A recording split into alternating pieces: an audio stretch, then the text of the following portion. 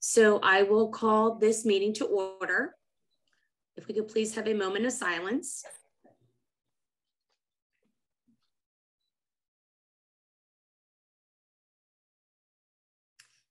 And uh, the flag salute, please. I pledge allegiance allegiance to the flag of the the United States of America and to the republic for which it stands, one nation, under God, God, indivisible, indivisible, with with liberty liberty and justice justice for for all. All right, great, thank you. Um, May we have the roll call vote, please? Miss- Mr. Caliguire, Here, Ms. Darmo, Here, Mr. Dovey, Here, Mr. Je- Mr. Cameron Jenkins, present, Mr. Phil Jenkins,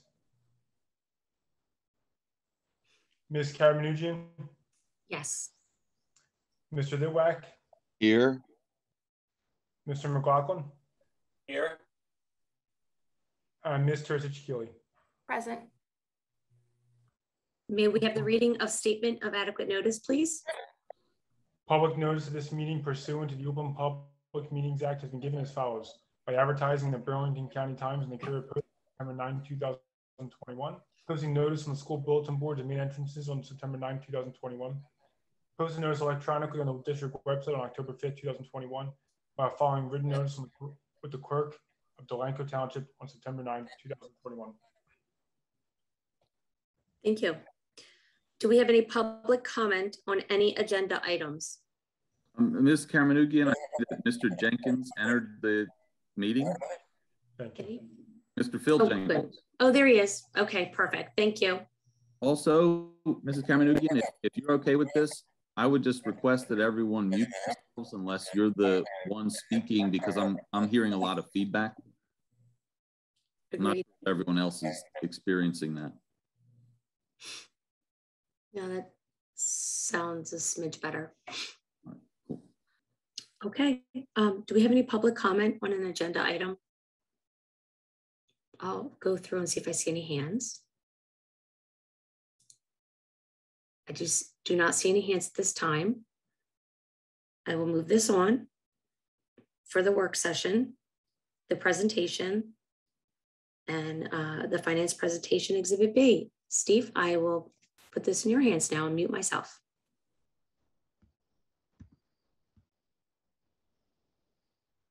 Give one second. Can everyone see that?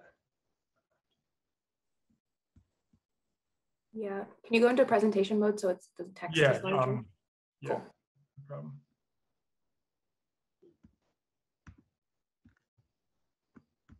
So I'm in Google, so it's, there it is. There. you go. You know, initially I wasn't going to do a presentation this month, but I felt like it was important to update a few things that did happen. Um, especially given some things that are coming up. So real quickly, just like I've been giving the last couple months, just an update on tuitions. We did receive, if you notice, there are three missing contracts. Three contracts are coming for people that were unexpected in the last week, week and a half. So if you notice the bottom line with tuitions, we're now technically at capacity, I guess you could say. We're technically under, over budget. So that's something which is obviously concerning. I'll get, I can give you more, more information on that in November when things kind of solidify with this. But uh, that's definitely obviously a change from the last couple meetings where that was, that was in the positive. So I did want to mention that. The pending ones, I, I, I did talk to our case manager. They're preschool students potentially who are not eligible yet, but will be eligible throughout the school year at some point. The good thing about preschools are not usually as expensive. So in terms of the budget, it- as much as five people is a lot of money, it won't be the full, I guess, what we normally think of since it is preschool related. So the audit, the auditors came in, I guess, about starting three weeks ago and they wrapped up about a week ago. The audit's not done, but they wrapped up their field work at least. Uh, so anyhow, we have, uh, we have our budget fund balance we have to make a decision on. It's not a decision we have to have a board resolution on because the board resolution was passed last June. Just need to know what the board agrees to in, in regards to this. So again, our budget each year is, has a budget fund balance, and what that technically is, is technically surplus from a previous budget year, budget in the, budget into- into another year. So, for example, if you look at this over the last couple of years, our budgeted fund balance has, has usually been over a million. The reason, one of the, one of the big reasons why our, budget in 21, 22 was needed, needed rifts and cuts was because of that significant difference in the budgeted fund balance, which means things happened in that budget year two years ago, which would be 1920. Something happened, so stuff happened in that year that caused, you know, that fund balance to dip down. Now in 22, 23, we look like we have a strong fund balance, which is good. Now, that was partially due to probably less sub costs, less transportation costs, all because of COVID. So in some ways, COVID probably helped us out in, in regards to last year's budget. But the other thing we have to keep in mind is 23, 24. If our budget fund balance is only 424,000 in this year, what is our budget fund balance going to be, especially given that our tuitions are already over budget? What's our budget fund balance going to be in 23, 24? So before we just say let's budget all of 1.4 million dollars to 22, 23 salaries and, and, and expenditures that have a yearly rollover, we got to be careful that we're not setting ourselves up for a bad 23, 24 year. So here's kind of what I outlined here. And this is just a recommendation as of October 13, 2021. The only thing we really have to discuss is how much you want to put in capital reserve. Because once that decision is made, we can't go back on that. Everything else, we don't have to make a decision on. I'm just simply outlining this as simply as a framework for the conversation. So out of the 1.4 million, in June, there was a resolution that was passed saying we can put up to $250,000 into capital reserve. We can put, we don't have to put 250, we can put anything less than that, we just can't put more. And once we tell the auditors that, they'll adjust our budget fund balance based on that. As I mentioned in the previous slide, I want to be very careful. I want to start reducing the budget fund balance to an appropriate, to a level that is, that is healthier for our budget so that we have sustainability in our budget. The, the issue is that has to be done over time. You can't just cut it down to 300,000 and expect to survive. I have some initial budget work done. I believe $950,000 would allow us to put the facility department back into the budget, would allow us to put extracurriculars back into the budget, things of that nature. So I thought that was a healthy idea. I also have the 250 of that. We need to develop our preschool disabled program and an MD program for, Joe, correct me if I'm wrong, three to six, third to sixth grade. Um, we need startup costs for that just to get the program started. And hopefully, once we get the program started, those would be one-time expenditures because in future years we would see the benefit by the reduction in out-of-district tuitions. So in reality, what I'm trying to say here is 950,000 would be like reoccurring, and that 250 hopefully would go away because the savings on the out-of-district placements will then hopefully overtake those programs, if not more. Yeah, that leaves us with not, that leaves us with ninety-two thousand dollars, which I would just say we use for one-time expenditures. For example, we have to analyze whether or not we may need a bus, things of that nature, things that would not impact the 23-24 school year if the surplus is lower. So again, we're not deciding today if, because it's not the budget, not, it's not the final budget yet. I wanted to kind of put a framework for you. The, the only thing I need to know is if, if the board would like to put however much money up to two hundred fifty thousand dollars in capital reserve. So with that, I open it up to questions before I go forward. Um, Mr. Burns, I have a question. Vera Yes. Darmo. Um, I- I believe when I was looking over, um, some of the information in the budget packet, we have zero dollars in emergency capital reserve. Is that correct? We don't have an emergency reserve now. So aren't we supposed to have money in there in case we have an emergency or what is the guidance on that? No, you would have, you would have had to put that on the June agenda. At this time, you can now put into a reserve outside of what was on the resolution in June. So should we have done that in your professional opinion? Um, I mean, it's hard for me to go, back. I mean, I don't want to talk about the past. I've never done an emergency reserve in my, in my workings in Haddon Heights and Haddonfield. We did a maintenance reserve. Uh, that's something if we had significant surplus, I probably would mo- like to move on because it allows you, what it allows you to do is if you put money in there, you have more freedom to take it out versus capital reserve. And it can be used for Okay. maintenance expenditures, which means, let's pretend you had a bad budget year. You could actually, um, uh, it doesn't work as much. You could at least replace your facility costs, which might be fifty to seventy-five thousand in the budget, at least by using that reserve. So are you saying we do have a maintenance reserve now not. or, I was just commenting on what, if, if I had, if I had a significant surplus this year above the amount that we needed to keep the budget going, that's something which I probably would put on my, put on next June agenda if that happened. so capital reserve, that's for building school facilities, correct? Yes, capital projects. So since, since we don't have any plans to do that that I know of, why not put some of that money into that maintenance, um, emergency maintenance that you're talking about? You cannot because it wasn't on the June, June agenda.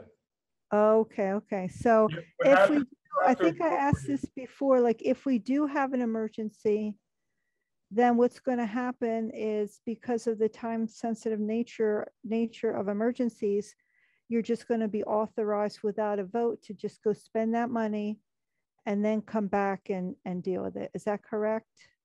From capital reserve, from, from where? Where you No, for like, say we have, I think I asked this like a long time ago, like say a boiler was to explode. We can't go, you know, we just need to spend that money immediately to fix that. So where does that money come out of? The general fund. The general fund. Okay, so there's no special procedure that needs to be oh, followed. yes. That just is immediately. emergency, true emergency, there's emergency contracts that you can, you have to be able, To, there is a procedure for emergency contracts, yes. But the funding would have to come from that. I can tell you right now, capital reserve has very strict measures to take it out. And the best, really the easiest way is really only a budget time. So for example, if you, if you knew you were replacing a boiler or something like that, you put it in the actual budget and take the money out then ahead of time. Not really ahead of time. we don't have any plans to do any sort of capital projects, correct? I mean, I was looking for our long-term, um, I forget the exact name of it, a long-term facilities planning. Never long- could long- find that. The So, long- the longer so we don't have any plans for that, right? Is that correct? It has to have things, there, ha- there's projects in it for sure. There's always projects in it, otherwise you can't have a capital reserve. But, uh, So there's always, what kind of projects do we have? I'd have to ask the architect to see what was put in. I haven't, I haven't been here long enough to know what the, what, what is put in there. But what Okay, put in there is all board approved prior to putting it in there. okay, so that was, that was approved, uh, I think, before I got on the board. So that's why I want to know what's in there. So if you, mean, if, For example, if you're thinking of, go- let's pretend we're thinking of bond, I, if you don't mind, I'll talk about my previous district, just because it allows me to give you concrete examples, for example. Um, The, there was several times where there was board resolutions to place things into the LRFP because they had ideas that they, they had wanted to do in the future. Now, it wasn't something they were gonna do immediately, but in, in, they knew in the next five years, they would have to, so in order to start developing those plans, they would to, to do that. The one thing that's important though with the capital reserve is you don't know when things are gonna come up. Let's pretend we had an ADA accessible issue that we had to address and we had to get the architect involved. You know, there, there are things that, there are things that may come up in the next two or three years that we don't, that aren't on our radar right now that we may need to pull from capital reserve for. So that's why you'd want to place money into it. Just because you don't have it on the radar today, doesn't mean it won't be on the radar tomorrow. okay, um, does anybody here on the board or the superintendent remember what some of our long-range, uh, projects are, since I haven't seen that document? Anybody remember, like, where we might want to build, uh, whatever? Anybody know? Okay, let's move on then. What's the balance of the capital reserve right now? You know, I should have that with me, but I don't have the audit in front of me, but it should be around four hundred thousand, I believe. I have it somewhere. I can, I can get that to you tomorrow if, um, if you, if you want an exact amount. What's Uh, a, what's a healthy amount that you recommend? It depends on the district. Um, Like- A district like ours?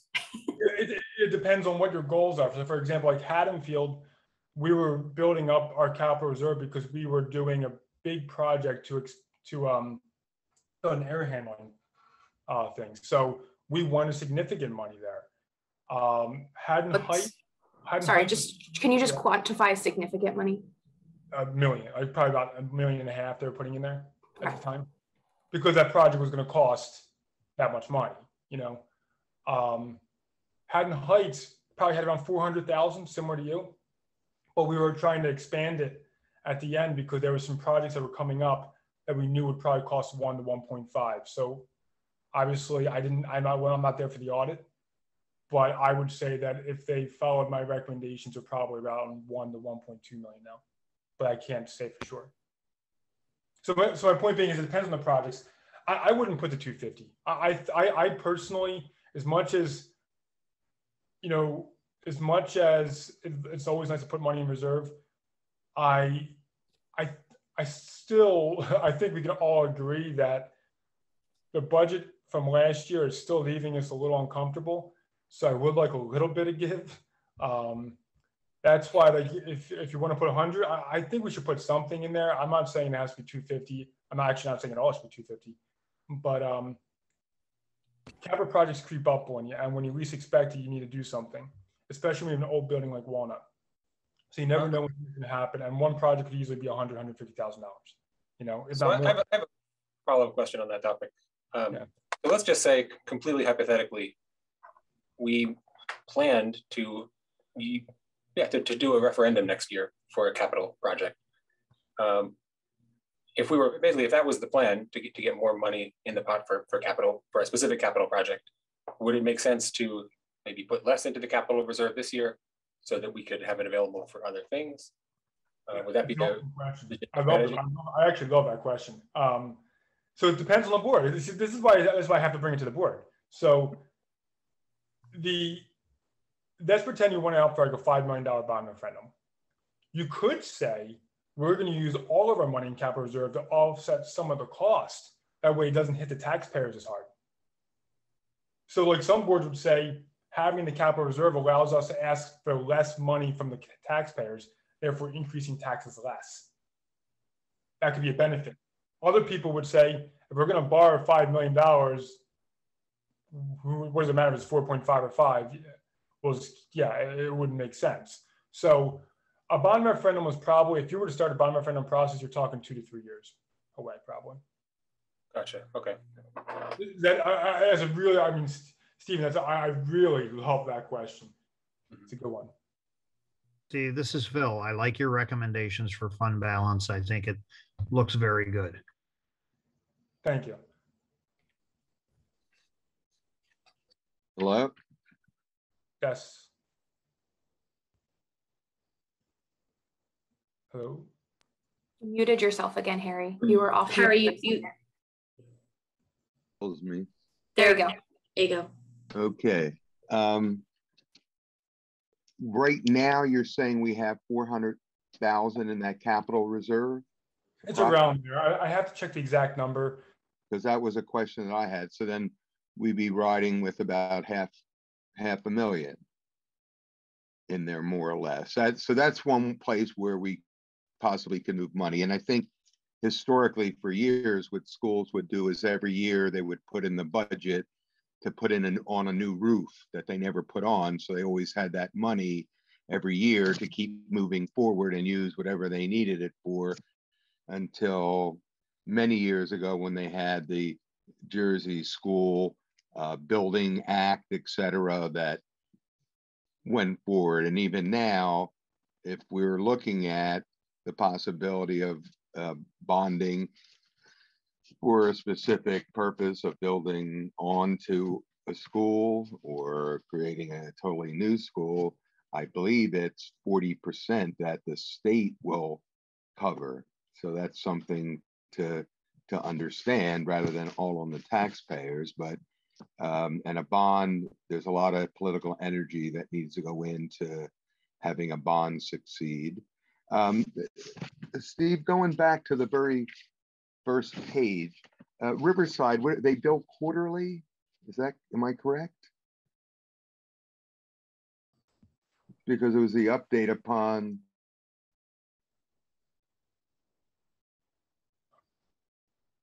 Harry, I'm sorry, uh, my internet went down in the middle of everything you said.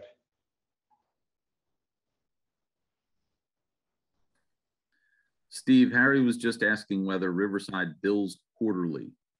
They bill monthly.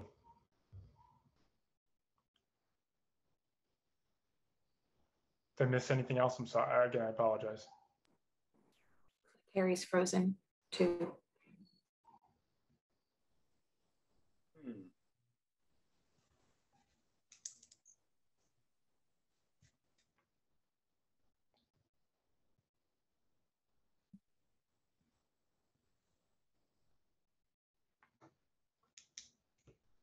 Anything? No. I He's, think we lost them. he's gone. Um, like I said, we, we can pick, we can pick the one fifty or we can, like I said, we can lower to hundred if that's mo- what everyone's more comfortable doing. It gives us a little extra money to play with. I would just stress if we do that, we make sure we keep it for one-time costs in the budget. Because once we do salaries, that's reoccurring. I really think we're, we'll be, I think we're very careful about reoccurring costs. Uh, we're gonna, we need some of it to cover reoccurring costs, but we're not gonna have one point four million dollars in 23, 24 uh, to cover that. Trying that right now, so.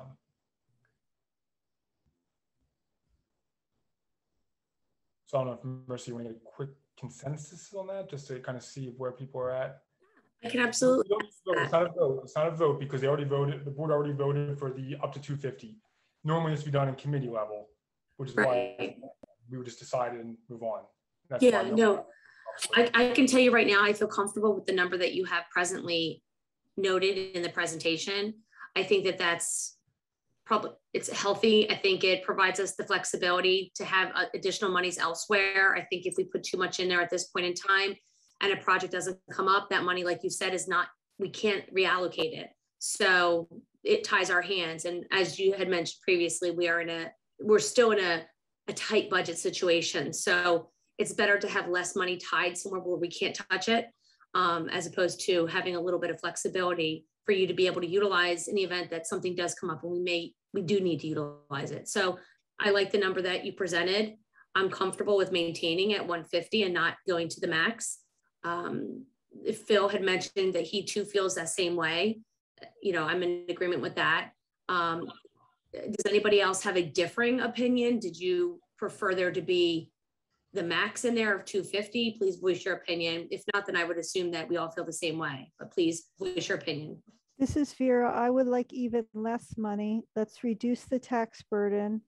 Then if we have to go out for a bond, the, the taxpayers can decide if they want to do that. So um, that's, that's my opinion. Maybe lower it to 50,000.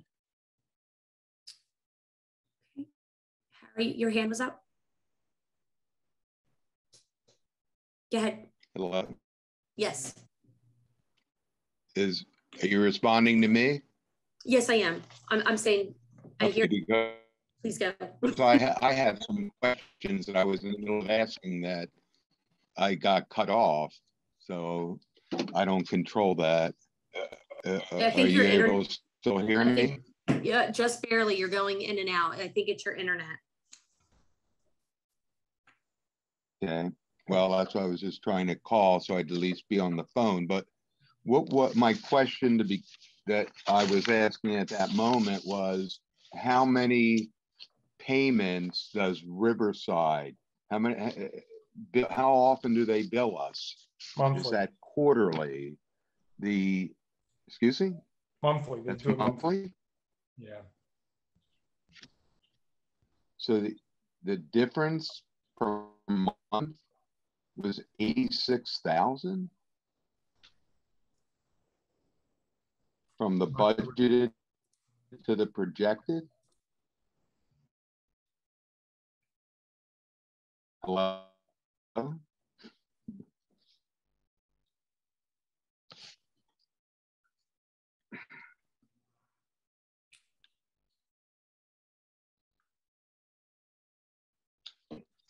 Hey, Steve, could you clarify which number Harry is referencing there?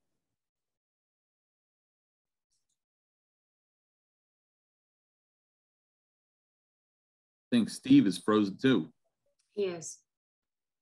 Yeah, You're talking about the, the numbers on the projected tuition cost slide, Harry? I'm talking about the projected tuition cost. Yeah, I think that's a yearly number. Because we budgeted That's one point. I'm asking what, Yeah, I would, I would have. right, but uh, uh, it was, the note was update upon first bill from Riverside.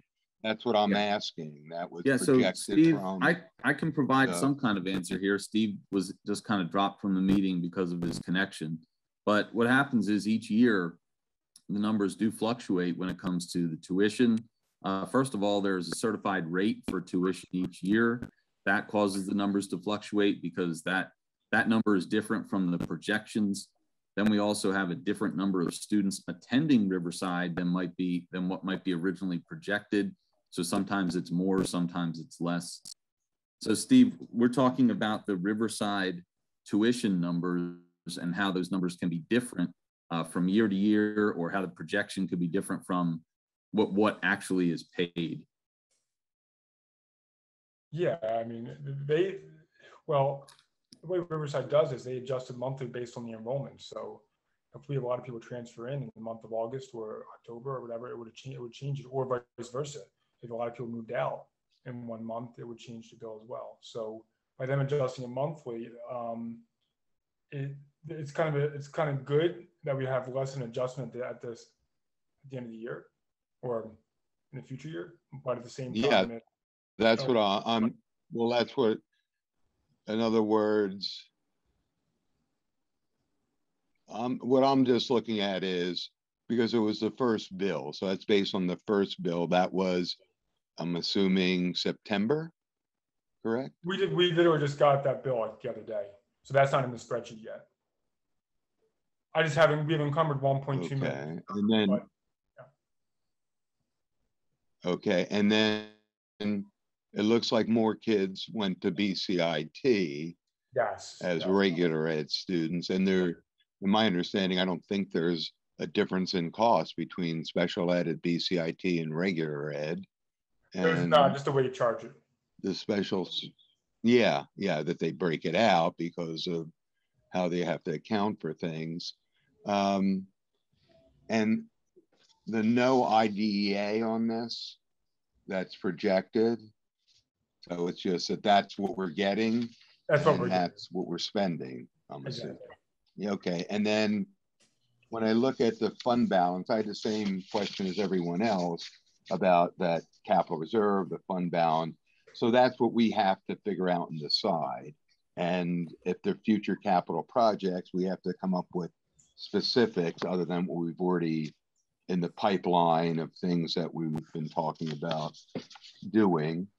And then um, I'm, I'm I think that the special education program, the expansion of it, um, curious how we came up with what those costs were and what are they for?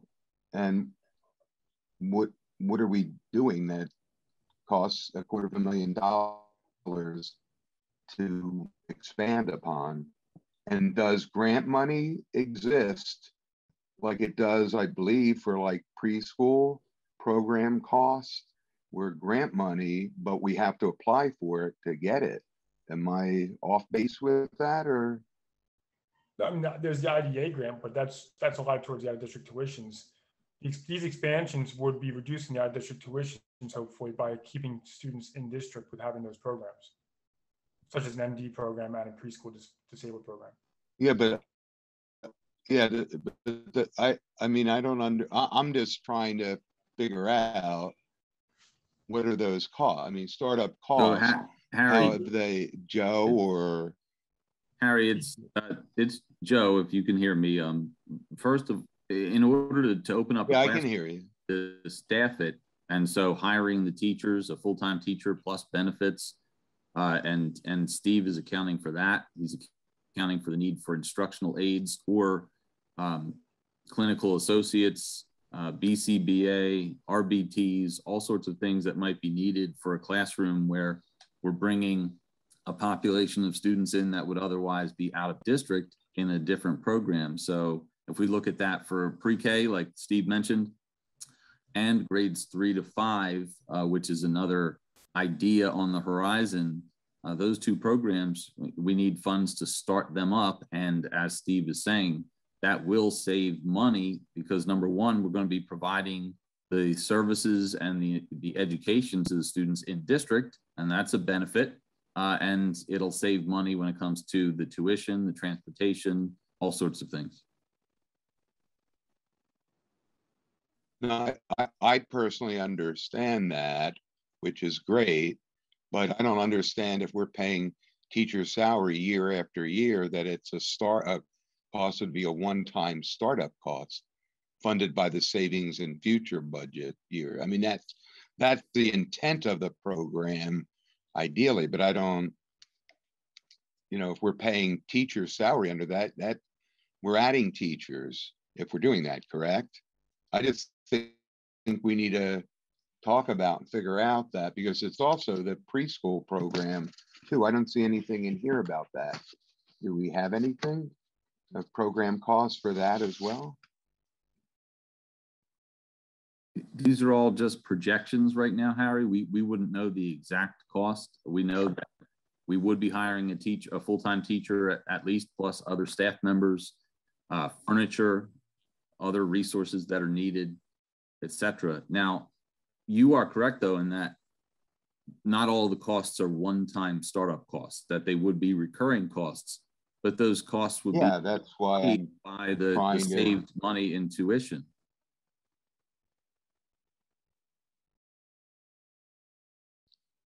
well, that's not a cost. Saving money isn't a cost.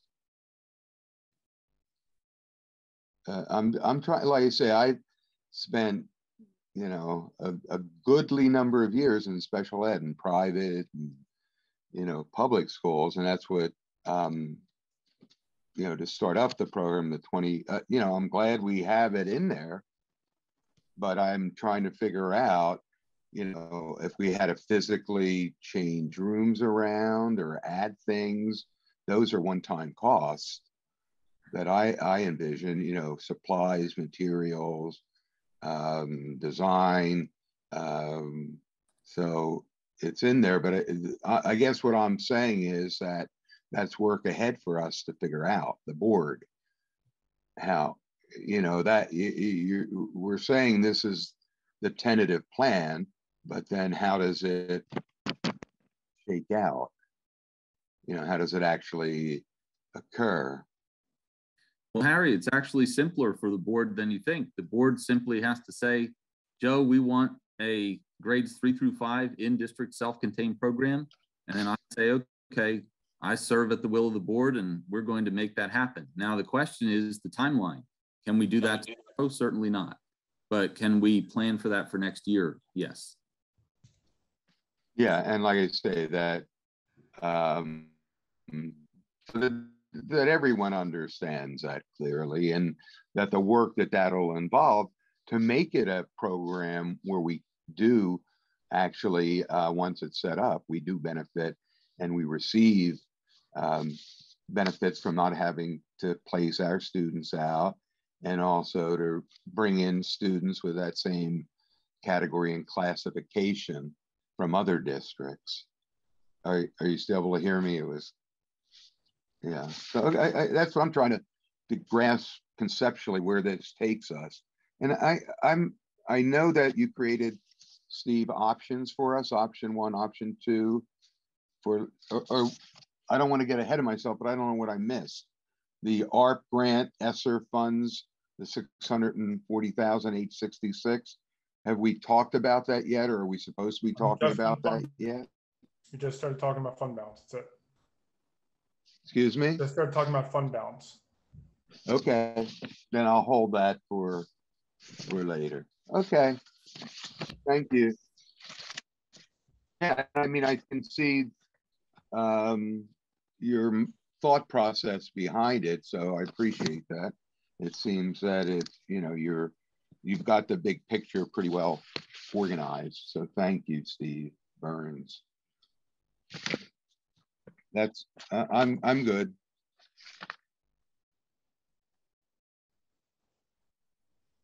Marissa, you're muted.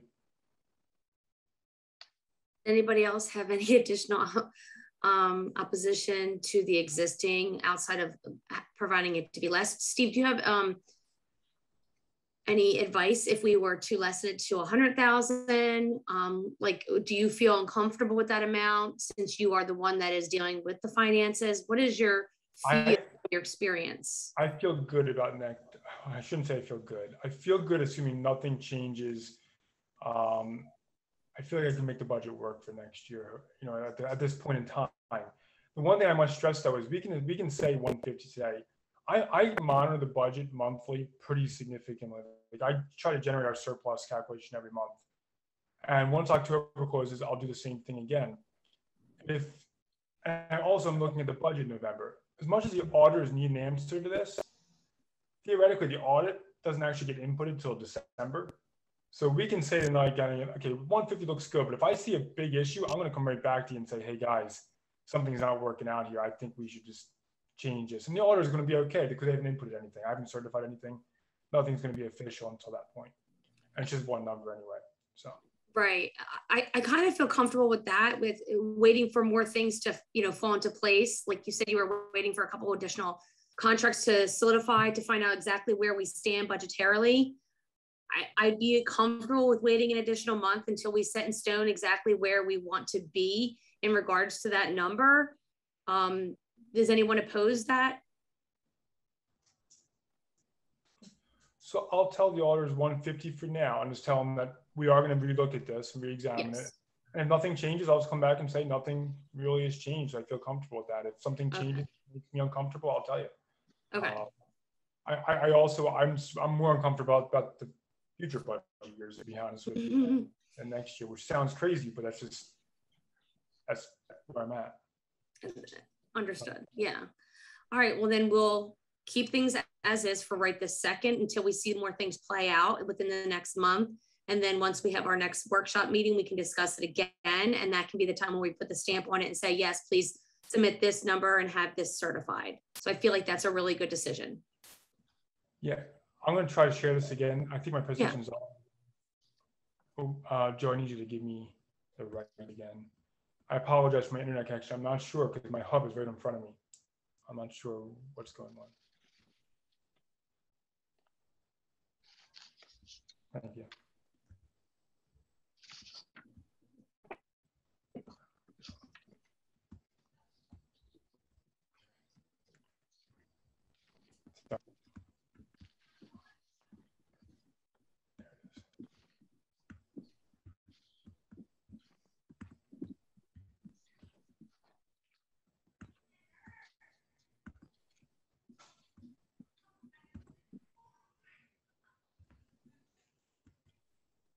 Uh, the last thing I wanted to real quickly show, uh, share with you is the ARP funds.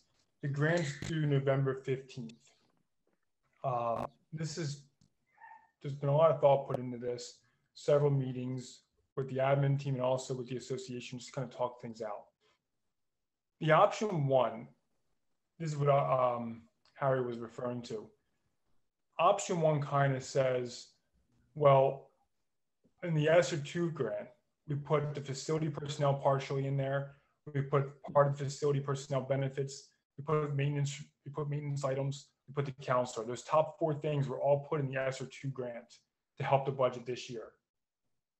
Obviously, we know we can't function without a custodial department. So we need to get that back into the general fund. So the goal in option two is to place that back into the budget, similar to like extracurricular activities and things of that nature for next year. And so that's that's the biggest difference you'll see from column option one to option two. Option one has pretty much the status quo with the ESSER two grant put in for the ESSER, put in for the ARP grant. In option two, we're trying to put those, that money back into the budget. And instead, with that extra money, we're trying to do a few other things which are bolded at the bottom. And then if you look at the comment at the bottom, those bolded items would not be expended until at least December of 2022. Therefore, if we did have a budget crunch in 23, 24, we could, we could submit an amendment to change that if we needed to, to help with that 23, 24 budget. So the point being is the bolded items are what we all kind of agree are significant items that we need, but we, uh, we do not feel comfortable earmarking it today without knowing 23, 24's budget when this grant covers 23, 24 as well. So for example, let's pretend we did have to have a tough budget year in 23, 24. We could change the grant and allocate those bolded items back to the, you know, I hate, you know, I hate to say this, but the facility personnel or facility personnel benefits, things of that nature. And they're about equal amount of funds approximately. So here's some of the other items that we would like to do in the funds. Um, we have obviously facility maintenance. There's no doubt about it that the COVID costs have increased the HVAC filters, just making sure that our HVAC systems are working properly, just the disinfectants that we have to purchase, all those things. We would like to keep that mostly funded like we do with the ESSER two grant, just to kind of make sure that we have extra costs associated in case we have an uptick in those, in those costs. The one thing that we're really seeing a significant um, deficiency is the learning loss. Obviously, when students were at home, they did not learn as effectively as they would in a classroom. So to, to address the learning loss funds, we were gonna hire a basic skills teacher full-time for a portion of this year, once we would have the grant submitted and so forth, and for next year. So the next year and a half, we would try to address the learning loss by hiring a basic skills teacher. The extra custodian, we we're, we've had issues. I've had issues in other in my other in my past district as well. When a custodian gets gets COVID, God help you know God help us, but it, it happens when they get quarantined. Um, and just the fact that those positions are taking on so much extra cleaning and disinfecting, and they're not the same thing, that when someone does get quarantined or someone does get get sick, we're really in a bind. So the idea with a hire would be to hire a part-time custodian that in 23, 24, we would get rid of. Hopefully COVID would not be an issue after one and a half years more of this, but we said that a year ago, so, so we'll see. But the idea, this would help us for the next year and a half to give our director of facilities a little extra room to help disinfect the buildings. On that same note, if you remember in the S in the uh, in the rifts last year, we riffed a person, basically another maintenance person. So our current director of facilities cuts all of our lawns. He does all of our maintenance, and he also does custodial work at times, depending on what is needed. Uh, the hope is for spring and for next year to give him the relief to give him some relief. We didn't want to hire a position because if in, if we can't support the position in 23, 24, we didn't want to get rid of it. But at least during this COVID environment, to give him some extra support with the extra custodian and the grounds contract, that would help him immensely focus on our HVAC systems, the maintenance, our roofs, things of that nature, and just being a director of facilities, which is already a full-time job in its in of itself. If you're watching news, I think everyone's heard about basically there's a worker shortage, and building substitutes are trying our, our attempt to try to address our substitute shortage. Obviously, we're not going to solve all of our issues with this, but what we're trying to do is if we hire four people, two for one for each building, but they're part-time positions, so we wouldn't have to pay benefits. So, for example, if we told one person that they would be hired Monday, Wednesday, Friday, they would automatically be a substitute for those days. And on, on Tuesday, Thursday, we'd hire the other person. That would, that would guarantee us one substitute in every building every day of the week.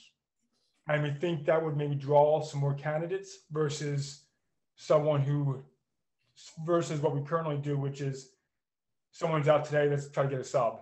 So at least we're guaranteed one, we would be guaranteed one sub in the buildings, which would help us out. And again, that's for a year and a half to try to help during these quarantines and, and, this COVID, you know, COVID issues. We already talked about the stipends for lunch. This was back, I forget if it was July or August when, when Joe mentioned this. The extra lunch periods require extra stipends. And we mentioned back then that we were going to put them in the ARP grant. We just did it for the next, we did it for the next two years to make sure that if needed for next year, we're covered as well. Again, the bolded items are kind of our wish list of one-time costs that would not affect future budget years, but things that are absolutely really needed. One is probably the highest priority on there is probably that phone system. Uh, our phone system is, without saying, without saying, being very blunt, it's it's it's old. I mean, it, it's just it's antiquated. Uh, when you call out, it takes good five to ten seconds for it to actually call. So we would like to go to a, a VoIP type system, which is what most districts would have at this time. Uh, Chromebooks, obviously one-to-one initiative, plus you know virtual learning is never is not going away in terms of people being quarantined, things of that nature. So just making sure our Chromebook are up up to par and constantly being replaced. Display panels, we have about eight more to replace. Uh, so that would be nice to get that done. And two copiers um, are probably older than my professional career. So they're pretty old. They need to be replaced. And I would like to, rather than do a lease, again, if this was an option, rather than do a lease, we just buy the copiers. That way, future budget years would actually have see a savings because they would be our machines versus leasing the machines.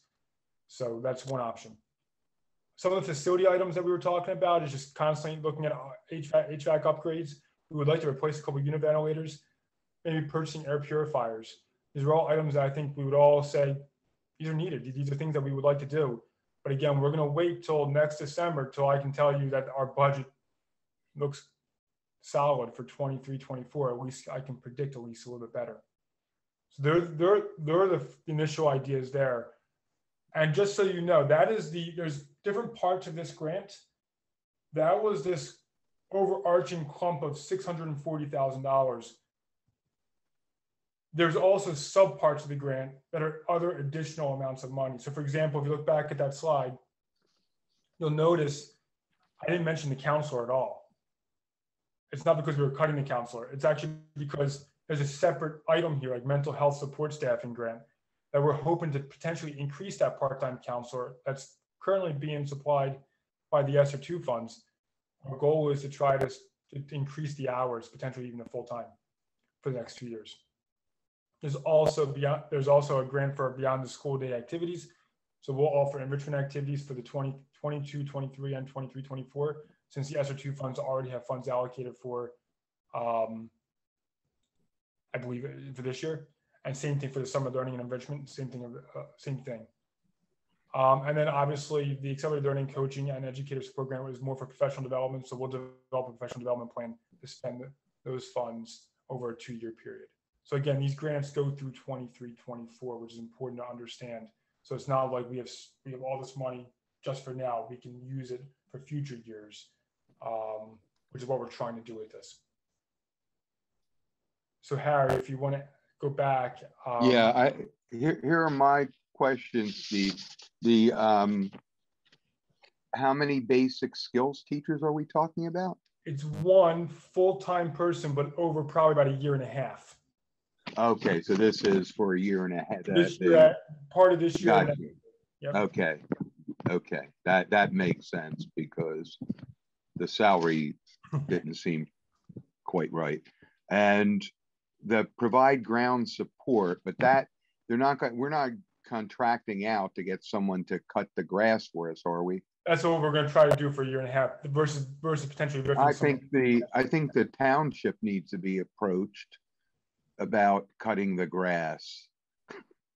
I mean, if we're going to pay, pay them thirty-seven thousand dollars to cut our. Oh, we grass. can do that. We, we can we can we can we can reach out to them service. That's not a problem. Maybe hey Bob, maybe you know any anyone still on the council Bob. Gladly resign my position on the board for a contract cutting the school's grass. Yeah, I know that's problematic. yeah, that's what I'm saying. I don't think we can I don't think we can afford to have some, uh, you know, that, I thought it was there with the idea that that's for the cleaning, for the utilize that, that it was showing up as grounds contract, but it was showing up to be in the extra custodian, you know, what we're talking about for the cleaning purposes, et cetera, that help disinfect for a year and a half.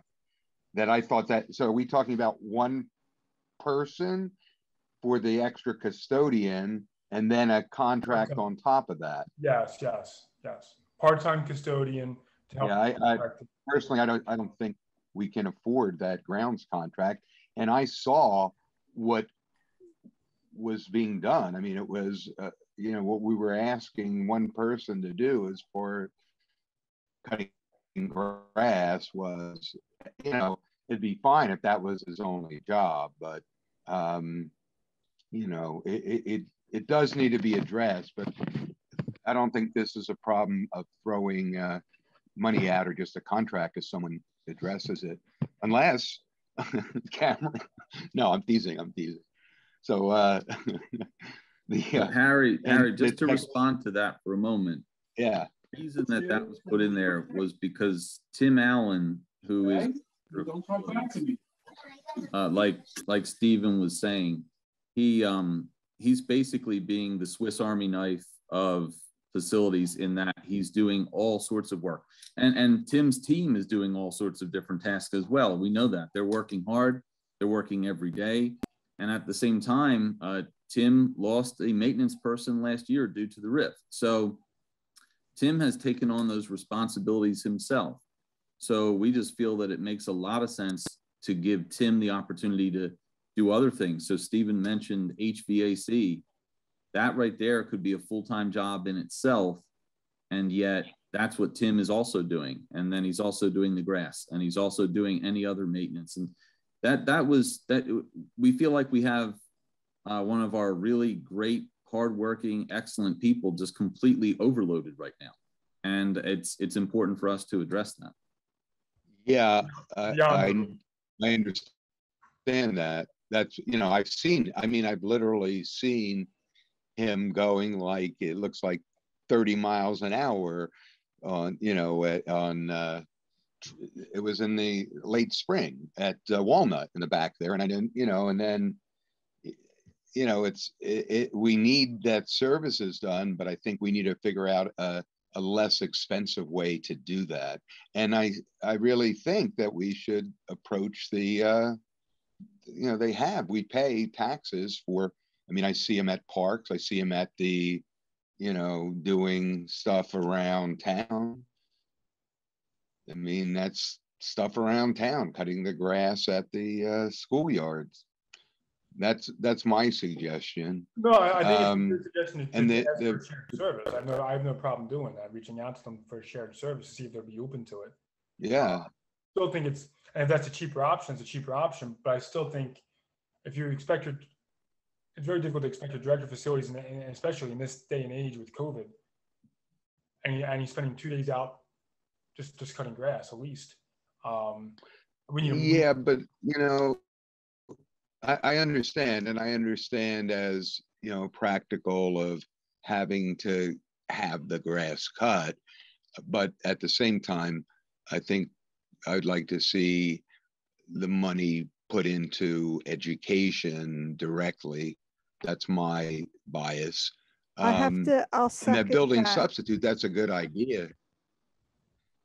Thank you, Vera. Yeah, I'll the, um, second that because we have, I was just gonna say, we have, um, our last district goals, what did we have as on reading level? What, what was it, forty-seven percent of the kids?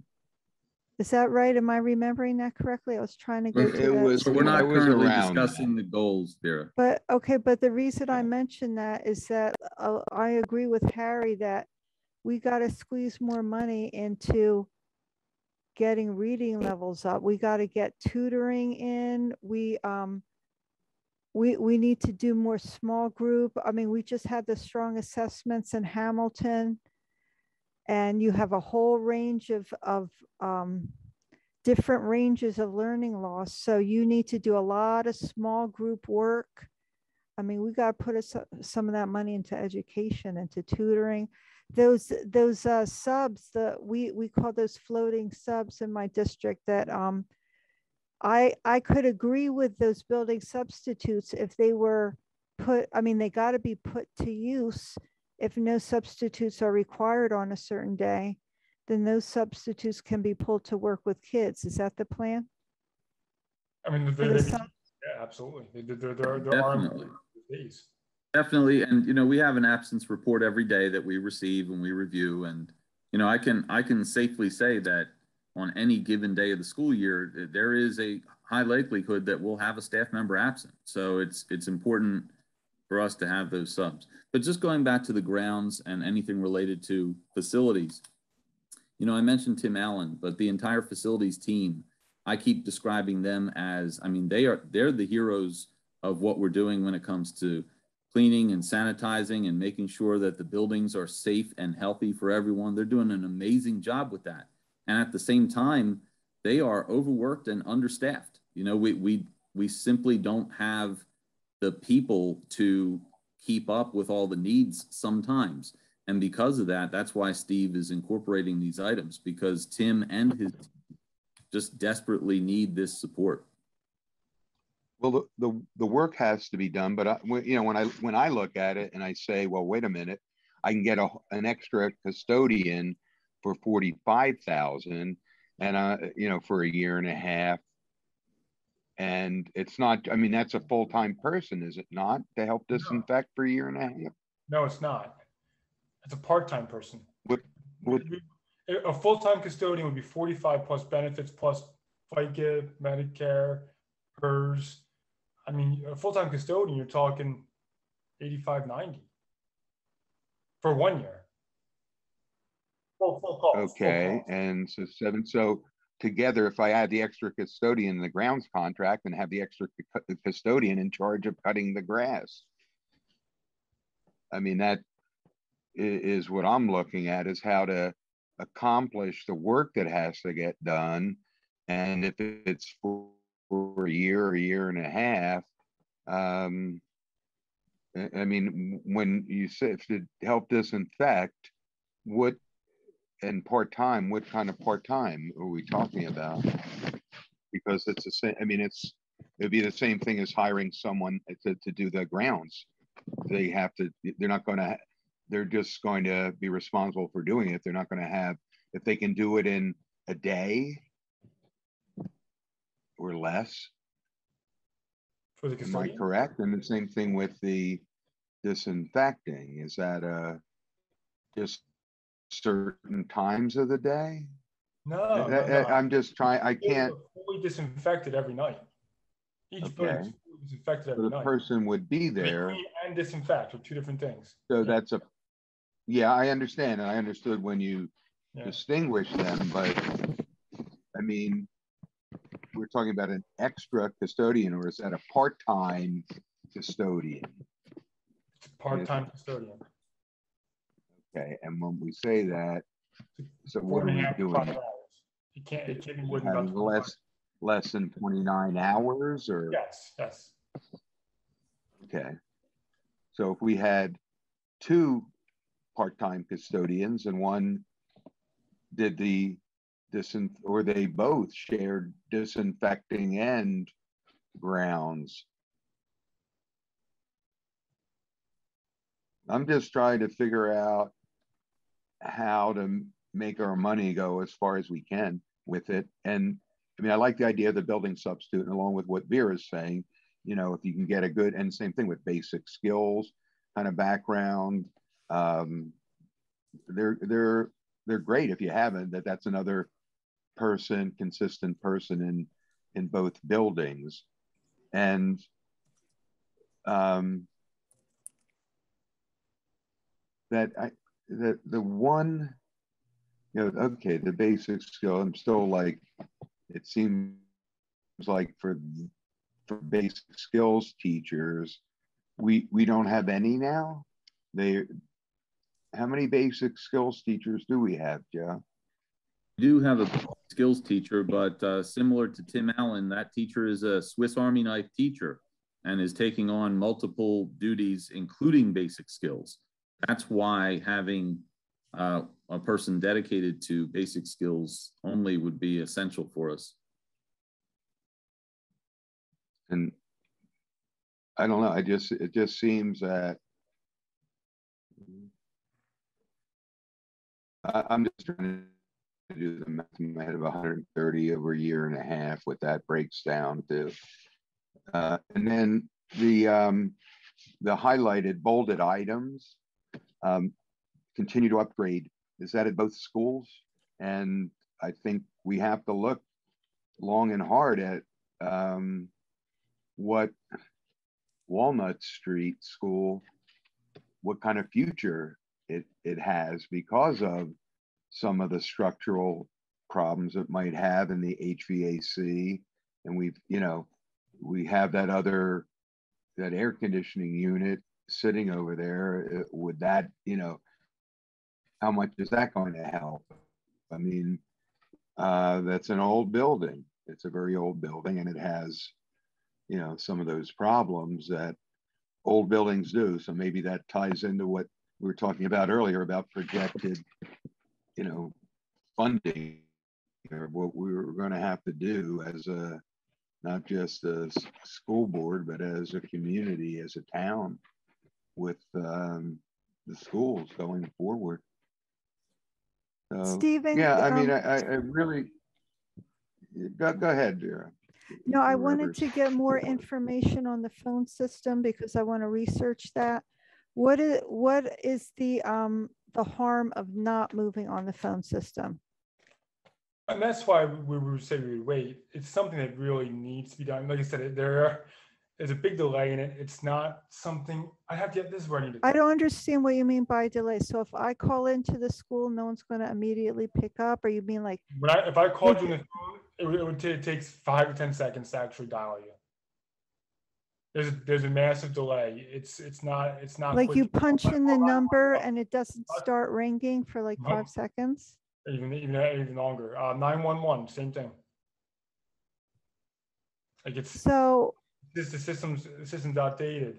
Uh, so. most what people is are- the name of that system? Like you were saying you wanted a, a VoIP, VoIP. Voice over, voice over, Internet protocol.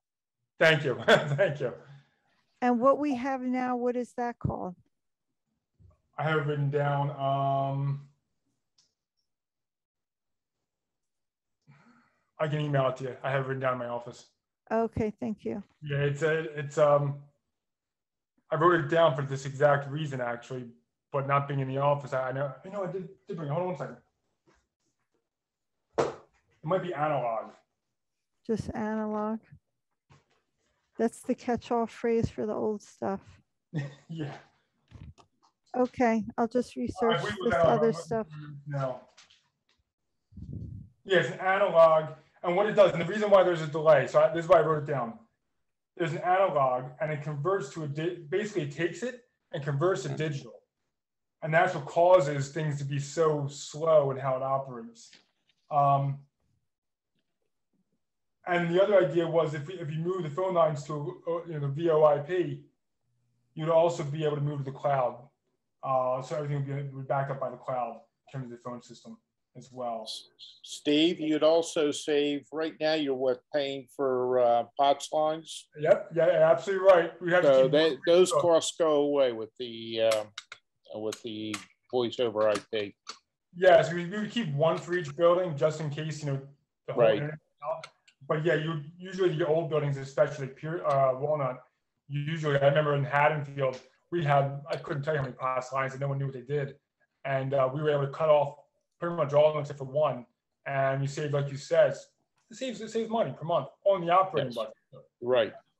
Yes. It saves money down the road, but it's a big cost up front. And I would prefer that money go to education now, which we're in an emergency situation with all of those months being online and a lot of children cannot learn as well. There's, they are, the, the kids in Delanco were already starting with um, not the best reading level. Now we add on COVID, we got to go full force into education and delay some of this other stuff. That's how I feel. That's why. Well, it- The why bolded, it's that's why it's bolded. It's not gonna be purchased until December twenty twenty-two. So that's why, that's, I said put it off even further than that. yeah, but we don't have to deal with that now. It's just numbers right now that we're looking at. That's in the budget. Okay, well, I'm just that- giving my opinion. Put it off even longer. than Yeah, I know, but that- 2022. Yeah, but, um, so many changes will be done before then that it's not worth addressing. So we know that's a need going forward. And, you know, we're not gonna, we're pushing it down the road because of what you're saying, Vera. I think everyone agrees with that, that the money, and the same thing I, where the mental health support staffing, is there ways that we can get more funding into that and more services from, um, where we're getting all of our special ed services for people. Um, if we need it for, like Vera was saying, you know, sometimes group, um, you know, that, that a counselor can do group stuff with kids, not just individual, depending on what we need. I don't know what the needs are. Harry, we, we wouldn't be able to put more money into that sub grant. That's what we're being given. Okay, that's allocated. Okay, wait. I have, yeah, I wrote, I, I took a little note card because I saw that was that some of it, the forty thousand and the forty thousand. Are we no, doing tho- any after-school were- tutoring? Any after-school tutoring at all? Yes, uh, based on ESSER two funds, uh, we are going to be starting up an after-school uh, program for English language arts as well as STEM. That's what the ESSER two funds were designed for, uh, spe- specifically for programs like that uh, related to learning loss. Now, under ESSER two, they didn't call it learning loss. Uh, they were calling it uh, academic acceleration, but uh, it's my opinion of it is we're not really going to be accelerating. We're going to be addressing the learning loss. So how many hours of uh, tutoring after school does that look like? Over what time period? Like three hours a week or? I, I could share the ESSER two plan with the full board at another time. I, I, I would really prefer not to get in the weeds on every little aspect of. Can you do like a very general, like two times a week for two months, like a very general overview? Uh, it, it could be that. I, I, I'm not prepared to discuss that program right now. Okay, but maybe next meeting? Uh, I can share it with the board, as I said. Okay, thank you. And I also want to comment, we have these funds as well that will be used for those kind of programs as well. It- That sub-grant, the, is, I don't know, I thought that that was a, as opposed to the forty K, that that was, you know, that was it, that all, you know, that was like the maximum that districts got, or certain size districts got. I But so. I thought that the um accelerated learning coaching, was that also capped? As well as that Received eighty-eight a certain amount of funds. through five oh ESSER one two. for This- mental this health? ESSER two was already discussed and approved by the board months ago. So I, I, like I said, I'm not really prepared to discuss the Okay. programs right now, but I can share that info, reshare Yeah, no, that. no, no, that's fine. I just, yeah, okay, thank you. I like I said, because I made my note of breaking that out, the ARP and the S, you know, and trying to find out, you know, there was the, the sub grant, there was the, you know, the total of eight hundred and sixty-one thousand four sixty-two. But that will go away after, what, year and a half?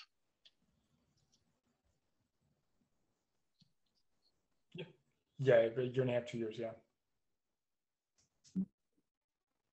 In, can you hear me? Yes, Har- Harry? Yeah, Yeah, I mean, the grant goes to 23, 24, so that's why we budget funds over multiple years. Okay, no, that's fine. I'm just trying to get a bigger picture. And like I say, I can see the mentality behind it. So thanks for that.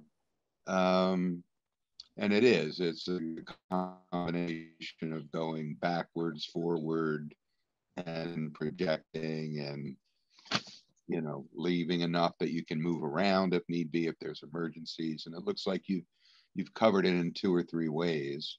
So thanks for that work. That, those are my questions with, with the. For the uh, counselor, are you saying that there would be, because on, on this screen that you're showing right now, it says increase part-time counselor hours for the next couple of years. On the previous slide, you have um, option pla- places two counselors into the operating budget. What that meant was not two. In ESSER two. Oh, option two, okay, I miss, I misread that, okay. So yeah, are you saying though that there would be, like, we're using both of those funds together to get a full-time counselor? Like, what exactly? Basically, again, I put the facility, when I mentioned the facility budget going in the operating budget, Mhm. I included a counselor. So I, I tried to take the cost that we want to project the 23, 24. Because I would like, I would like to know what those costs are and how we can do it, especially given our fund balance situation for next year. I put the facility person and the counselor in the operating budget for next year, part-time, part-time. So the idea is to use these additional funds and the ESSER two to try to make sure we can get a, make that part-time as close to full-time, if not full-time, for the next two years. Gotcha. And then Um, after that, we'll have to see. But uh, like I said, I'm trying to put as much into the budget because I want to try. My my biggest thing is sustainability. If it's, if the counselor's not in the budget, what happens in two years? Right. And I guess that's my question too about the facilities personnel. Um, so that is your plan as well? Like we had to, you know, riff somebody. Um, Yeah, I mean, the extra custodian is seen exactly as that. It's an extra one that we would obviously not have after one and a half years. That's why it's hopefully COVID is not not an issue, and that's why we were trying to go with the grounds contract because we don't want to have to rip rip people in a year and a half. The idea is to hire somebody to help out during COVID, and hopefully, if this alleviates a little bit in, in a year and a half, maybe we'll be in a different situation. And we can Right, but you have a facility personnel. Yes, budget. the, the personnel that's in, the personnel that was in our budget and partially placed into the ESSER two is fully in the budget. Okay. Yes. Um, question, uh, I'm not a fan of grass, so I'm just gonna start by saying that. Seems like a waste of money to me. Um, is there any way instead to put money towards landscaping that is more sustainable in the future so we don't have to constantly be hiring people to mow the lawn that most of which is not used? There's a lot of property. I, I think that would cost significant dollars. Well, you can have, you know, you can have grass that is sustainable grass that you don't need to mow every year. It's multiple roughly times. nine and a half acres. What is that? I'm so, I'm sorry.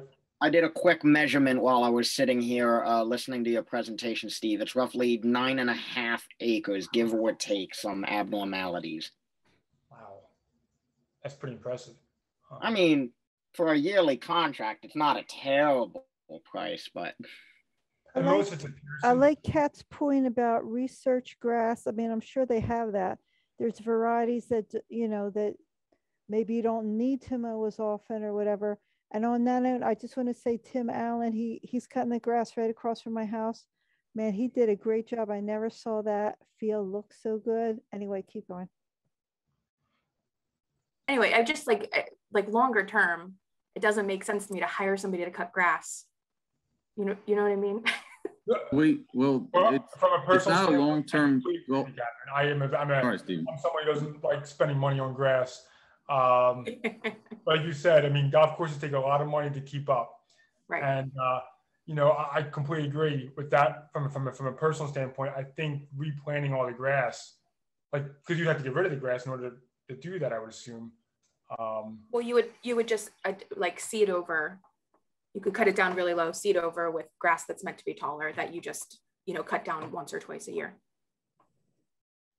Virtual grass. I like this idea. Let's, let's go more into this. Yeah, I don't know, not, we're talking nine and a half acres of reseeding. Now, but either way, I feel like we're, uh, literally, we're getting grass seed just on went this.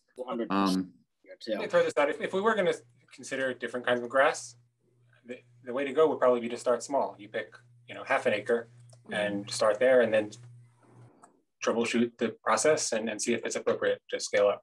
Mm-hmm. But uh, I- I'm, I'm- I, Good I appreciate the idea. However, the, this money is limited to only the next year and a half. And that's why this idea was being put forth.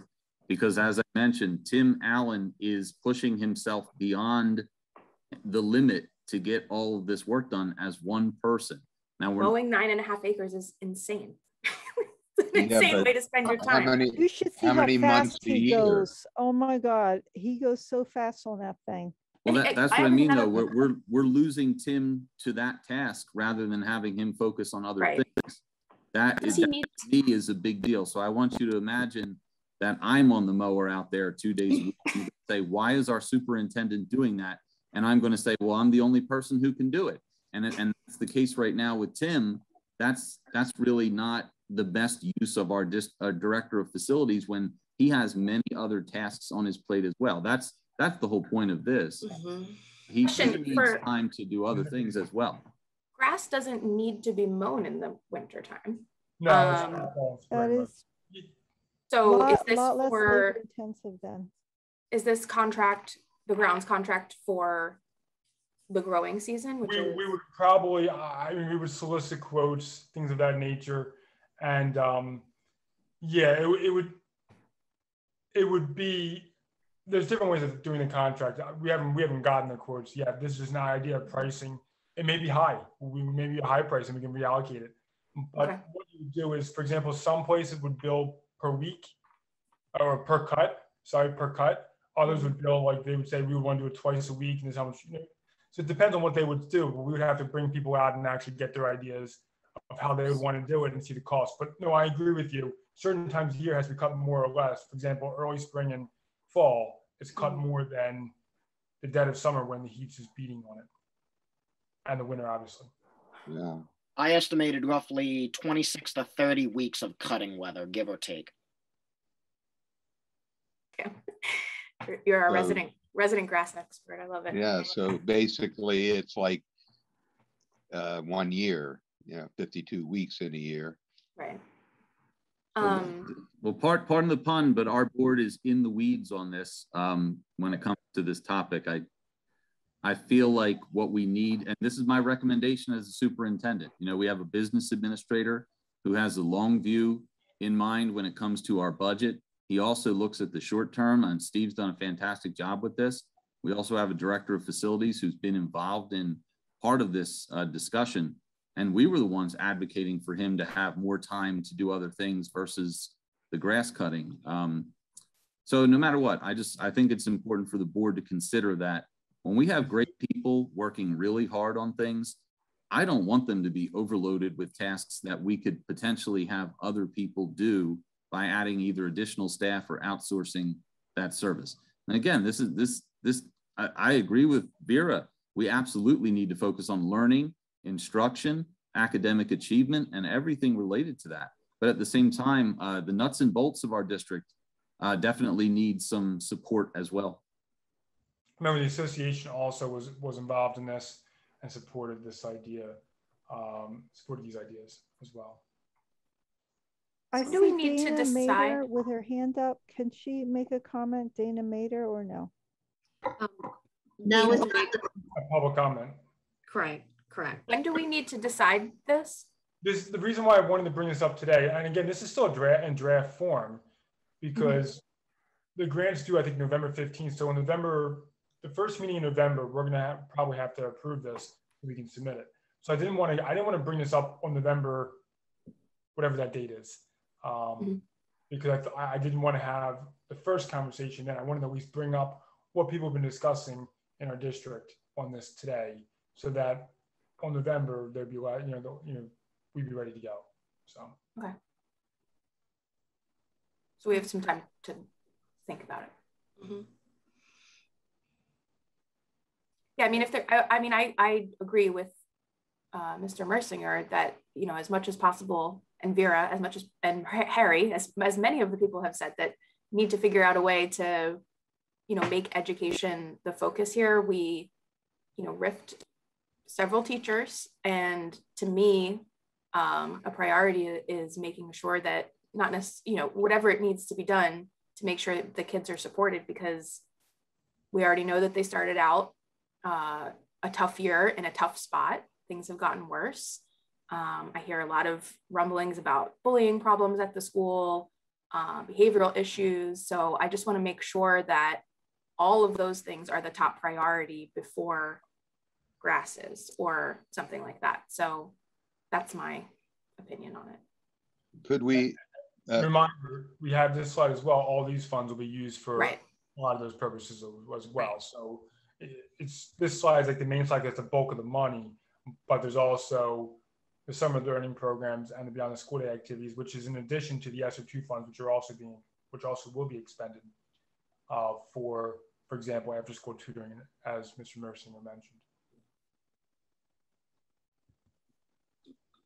I like everything you've said so far, Steve. I think we can probably move on to something else now because that's, you know, just things that we're talking about, not actual to, fa- you know, uh, written in granite yet. Is that correct? Exactly. I mean, there's still, Right. gonna be- still more ways to, to do it. Um, but uh, we're, we're trying to finalize things for November. yeah, working, we're working toward finalizing them is where we are in this process. And we had that, you know, the budget, uh, you know, that I had suggested that everyone, you know, that we all have uh, how to build a budget and the time sequences. But I think it also might be worth reaching out to BCIT because they have apprenticeship programs and we might be able to get someone in their black seal, could even be someone from, you know, Delanco, Riverside, who knows where, that is a student that can work as an apprentice that we apprentice and pay at the same time we get the services we need, but not at thirty-seven thousand dollars for grass cutting. That's an excellent idea, Harry. Yeah, well, I, I, I had apprenticed a young man from there in Westampton who, who I saw him five years later, he was the head of maintenance there. And that's the Black Seal program. They're doing the, uh, uh, to be a maintenance mechanic to, they, they need that certification. So it helps both. It's, you know, you earn while you learn and it makes a full cycle back if we same thing if we happen to hit a kid from uh you know from Delanco or Riverside or nearby that so that's the school to work office at BCIT that could be contacted about that.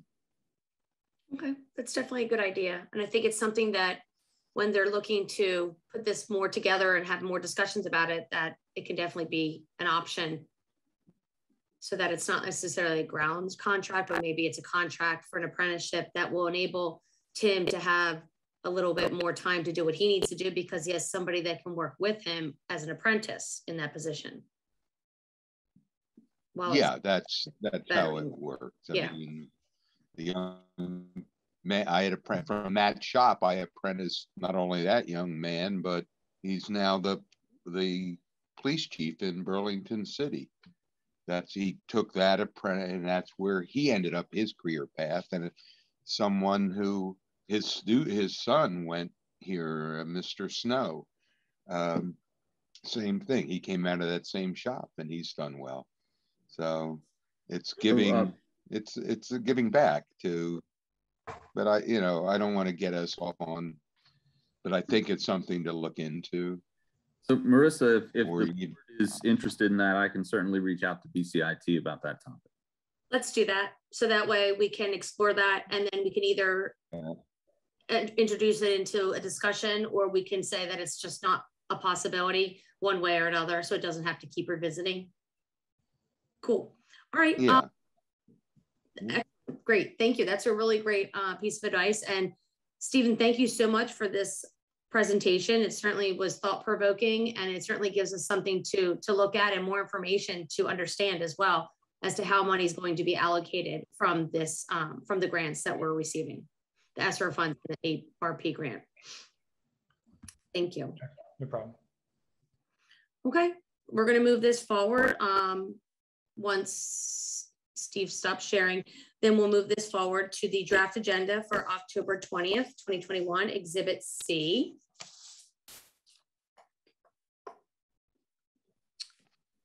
So, okay, awesome. Thank you. And obviously we have items one through five. Those are the normal items on an agenda. Does anybody have any discussions related to the approval of minutes of the September 8th, 2021 regular meeting? September 15th, 2021 regular meeting exhibit D.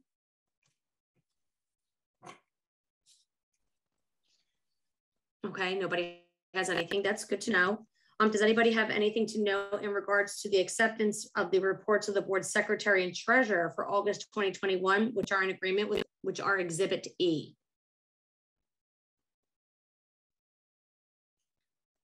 Thank you.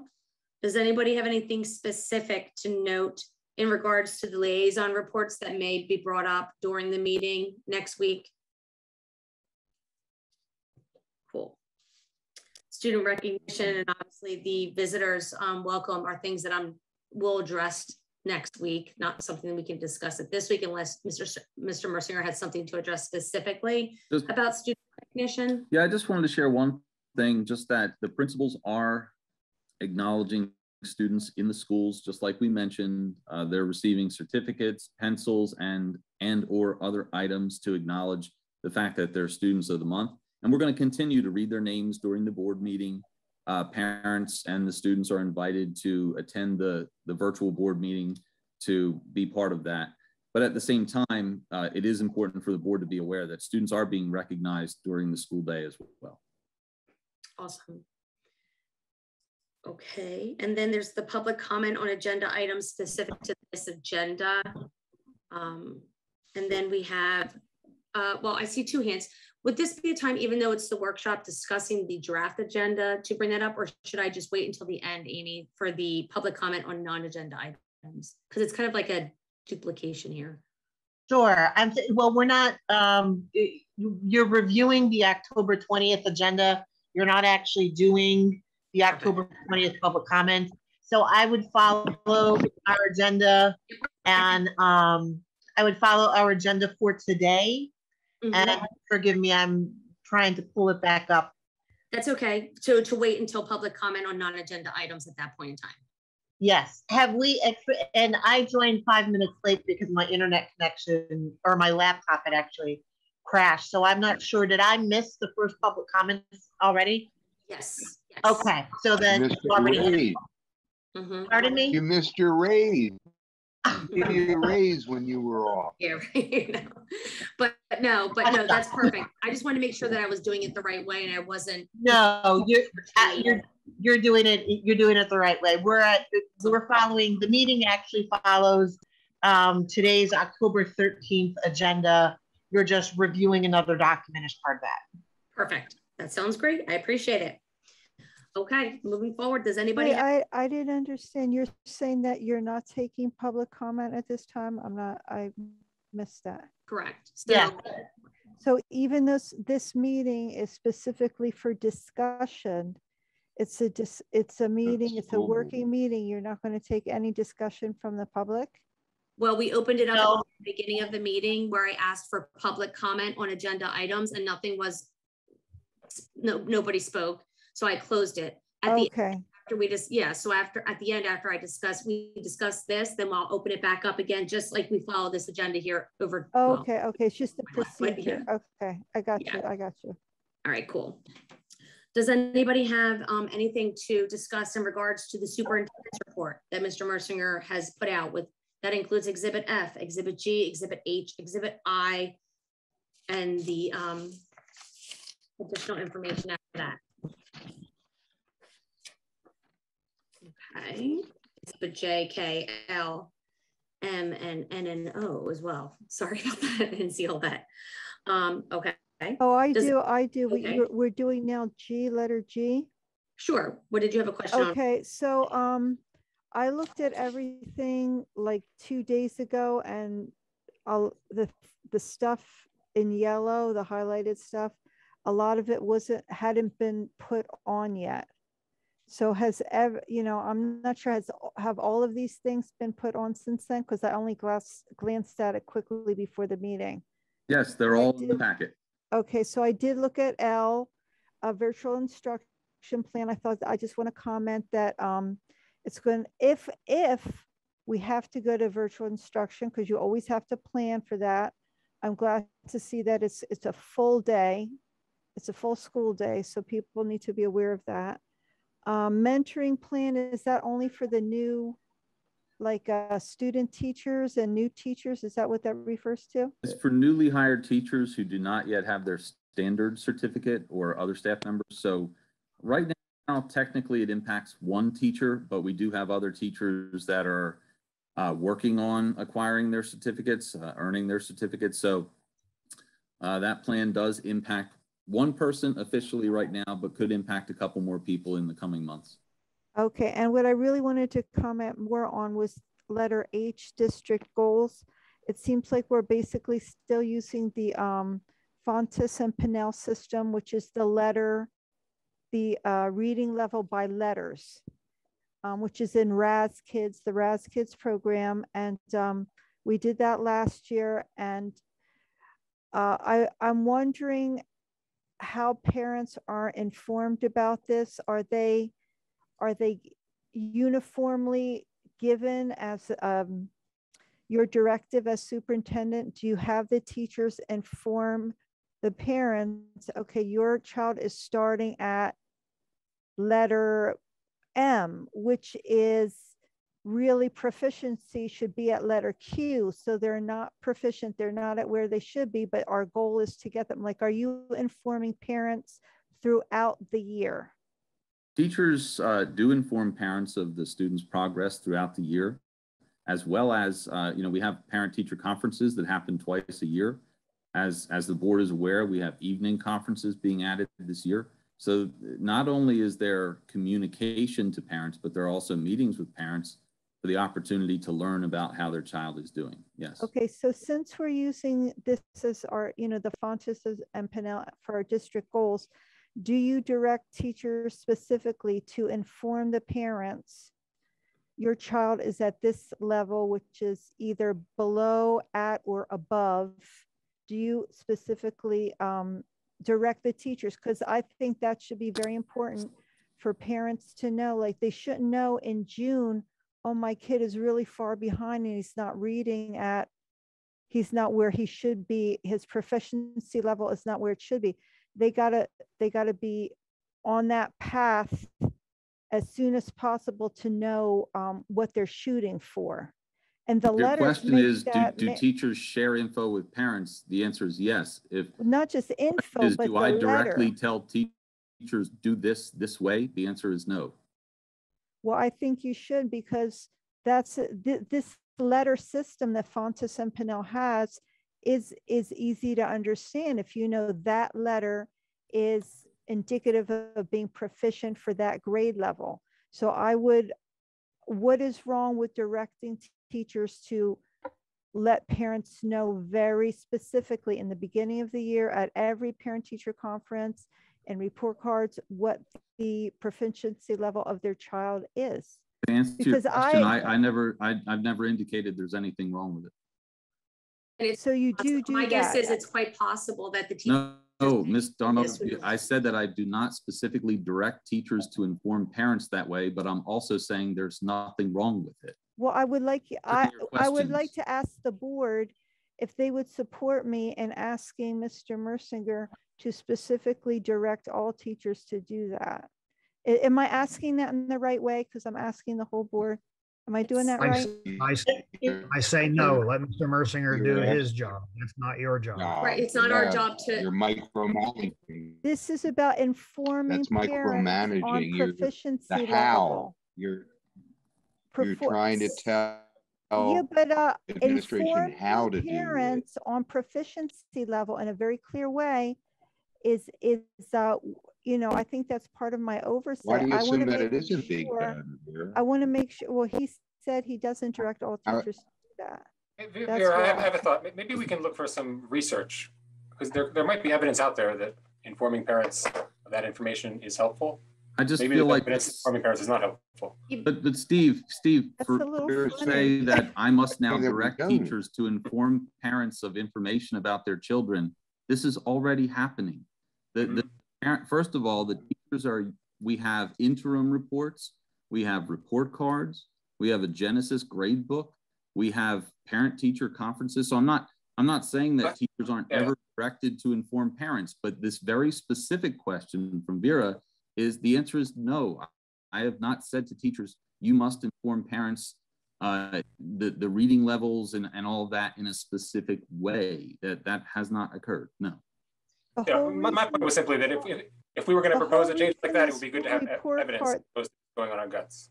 The whole Uh, reason the school report card at a state level came about, the school report card at a state level, and all this state testing came about is because parents wanted to be informed. And my feeling is, you know, really that Fountas and Pinnell, it's a better reflection of their reading level than these state tests, because I just went through the Start Strong in my district and the kids were like, I want to just get through this. It was not a good reflection of their real ability. That's why I'm, I think this is a plus for our district because Fountas and Pinnell would be a better reflection than say the NJSLA.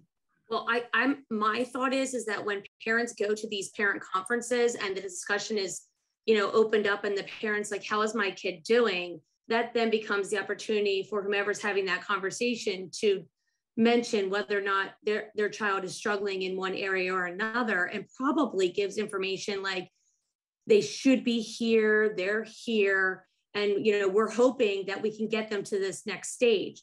You know, that's my guess that these people, that, you know, individuals who come to conferences most likely ask, I'm sure that you've asked that about your own child when she was in school. I know I personally have asked that as a parent. When I go into these parent conferences, I'm asking, how is my child doing? Where are they, where are their strengths? Where are their weaknesses? And then in turn, the educator then provides me with that input. what I found as a, when I was in the middle school, and now I'm all in elementary, is in middle school, um, we had a lot of grade inflation.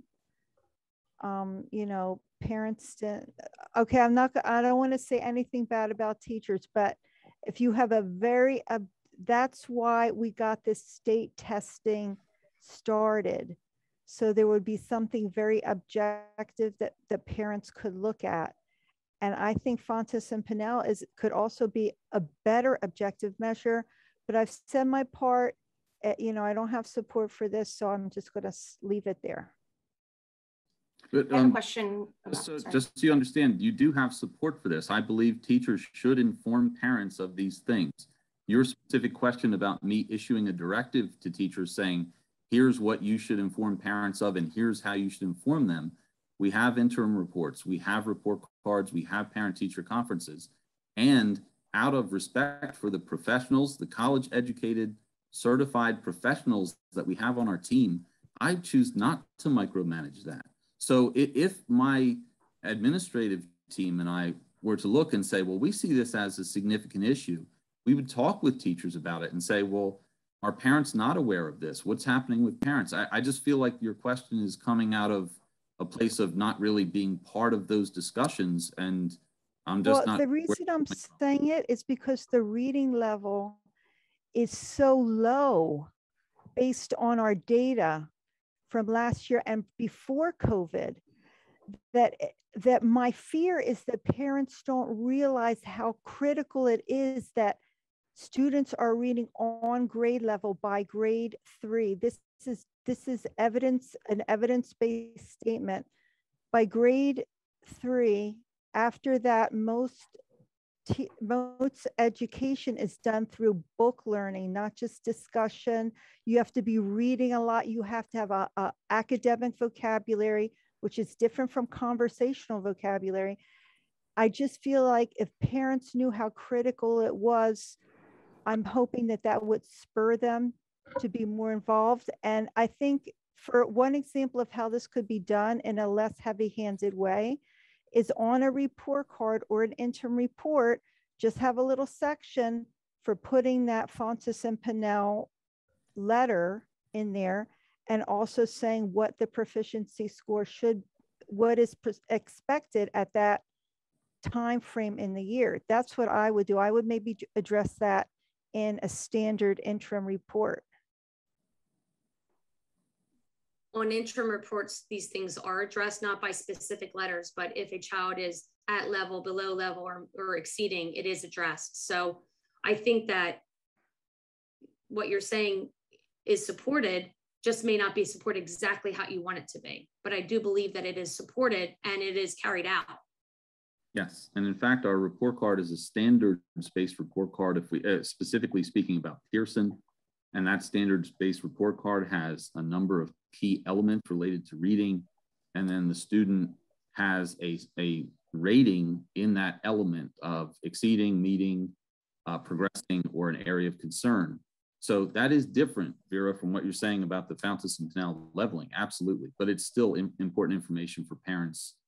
Uh, this does not mean that that teachers don't ever share that information, though. And I, I just, I just want us to be careful that you know we have teachers that are working hard, they're doing a great job, they're communicating with families.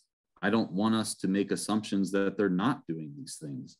And, I, and nor do I want us to make assumptions that they need to be directed and micromanaged in regard to what is pretty basic communication with a parent related to literacy. I'm just trying to find a way to help the reading level. And I think we have to do maybe something that we haven't done before. So I'll, let I'll let this move on. Well, I, I have a, you know, since we're talking about this, which is fine, it's kind of off the agenda and the path, et cetera, but what Vera said about the K to three, I would think, you know, it's it is valid information that that's where you want to have kids at their grade level by third grade with reading and math, so that it would be helpful if we put some of this money that's going into helping kids and the extra money that we're only going to have for a short while to make sure we're pumping in at that level so that we maybe can break the structural chain and also to find those kids that are not meeting success by that time to get them the extra help that it's a sequential learning process but putting the emphasis on yeah the pre-k the k to three to make sure. And then at that point you know you want to be alert that okay this child is at grade level, this child's above grade level, this child's below grade level, and that our system, from what I um, understand it to be, is that we do do that. That the you know that um, it's it is being done, and the things that you know you you were talking about, Vera, is you know if you were the superintendent, that would be your job to do. You know, whoever that would be their preference, and that's what. And this has come over a, a number of years that it's developed to be at this point. And basically, I, the way I saw it, we were finally at a point where we saw right where we were, which was using that information, and then the whole system, you know, went kaput because of COVID and you know standardized tests now What do they mean you know and what what good are they um, for an individual child they need the help they need the um, adult resources that we can bring and any extra as soon as possible so and i think the pre pre-k will also help with that so right no it's a topic worth discussing but maybe now quite isn't the time Thank you. I have a question about the goals. Uh, this is, we're voting on the edits that you made? Or what, what exactly are, or not voting, but you're just Right- showing right this to us and? Right now, you're just not dis- voting. No, I know not now. I'm talking, we're looking at the agenda for next week. I understand. that. Mhm. So we're going to discuss it further in executive because as the board is aware, the district goals relate directly to my evaluation. So I want to discuss the goals as they relate to my evaluation. So I think that's an important executive discussion, just like we discussed it last year. Um, but yeah, the the goals, uh, you know, we we can discuss them further as they relate to how I'm being evaluated. But in general, the goals, if you look at last year's goals and this year's goals, uh, you know, we partially we made partial progress on the goals last year, but did not fully achieve them. So I think that it would make sense for us to keep the same goals in place because we only made partial progress toward them. And we all know that last year was the most challenging, most disjointed, disrupted year we've ever seen in education.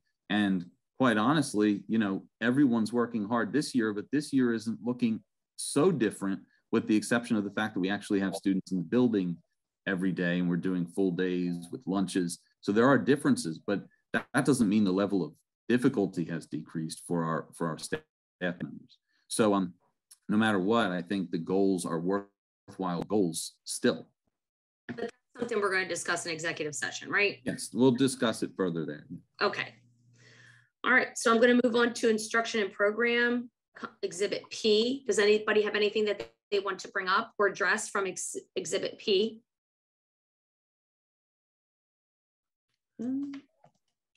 Budget and finance.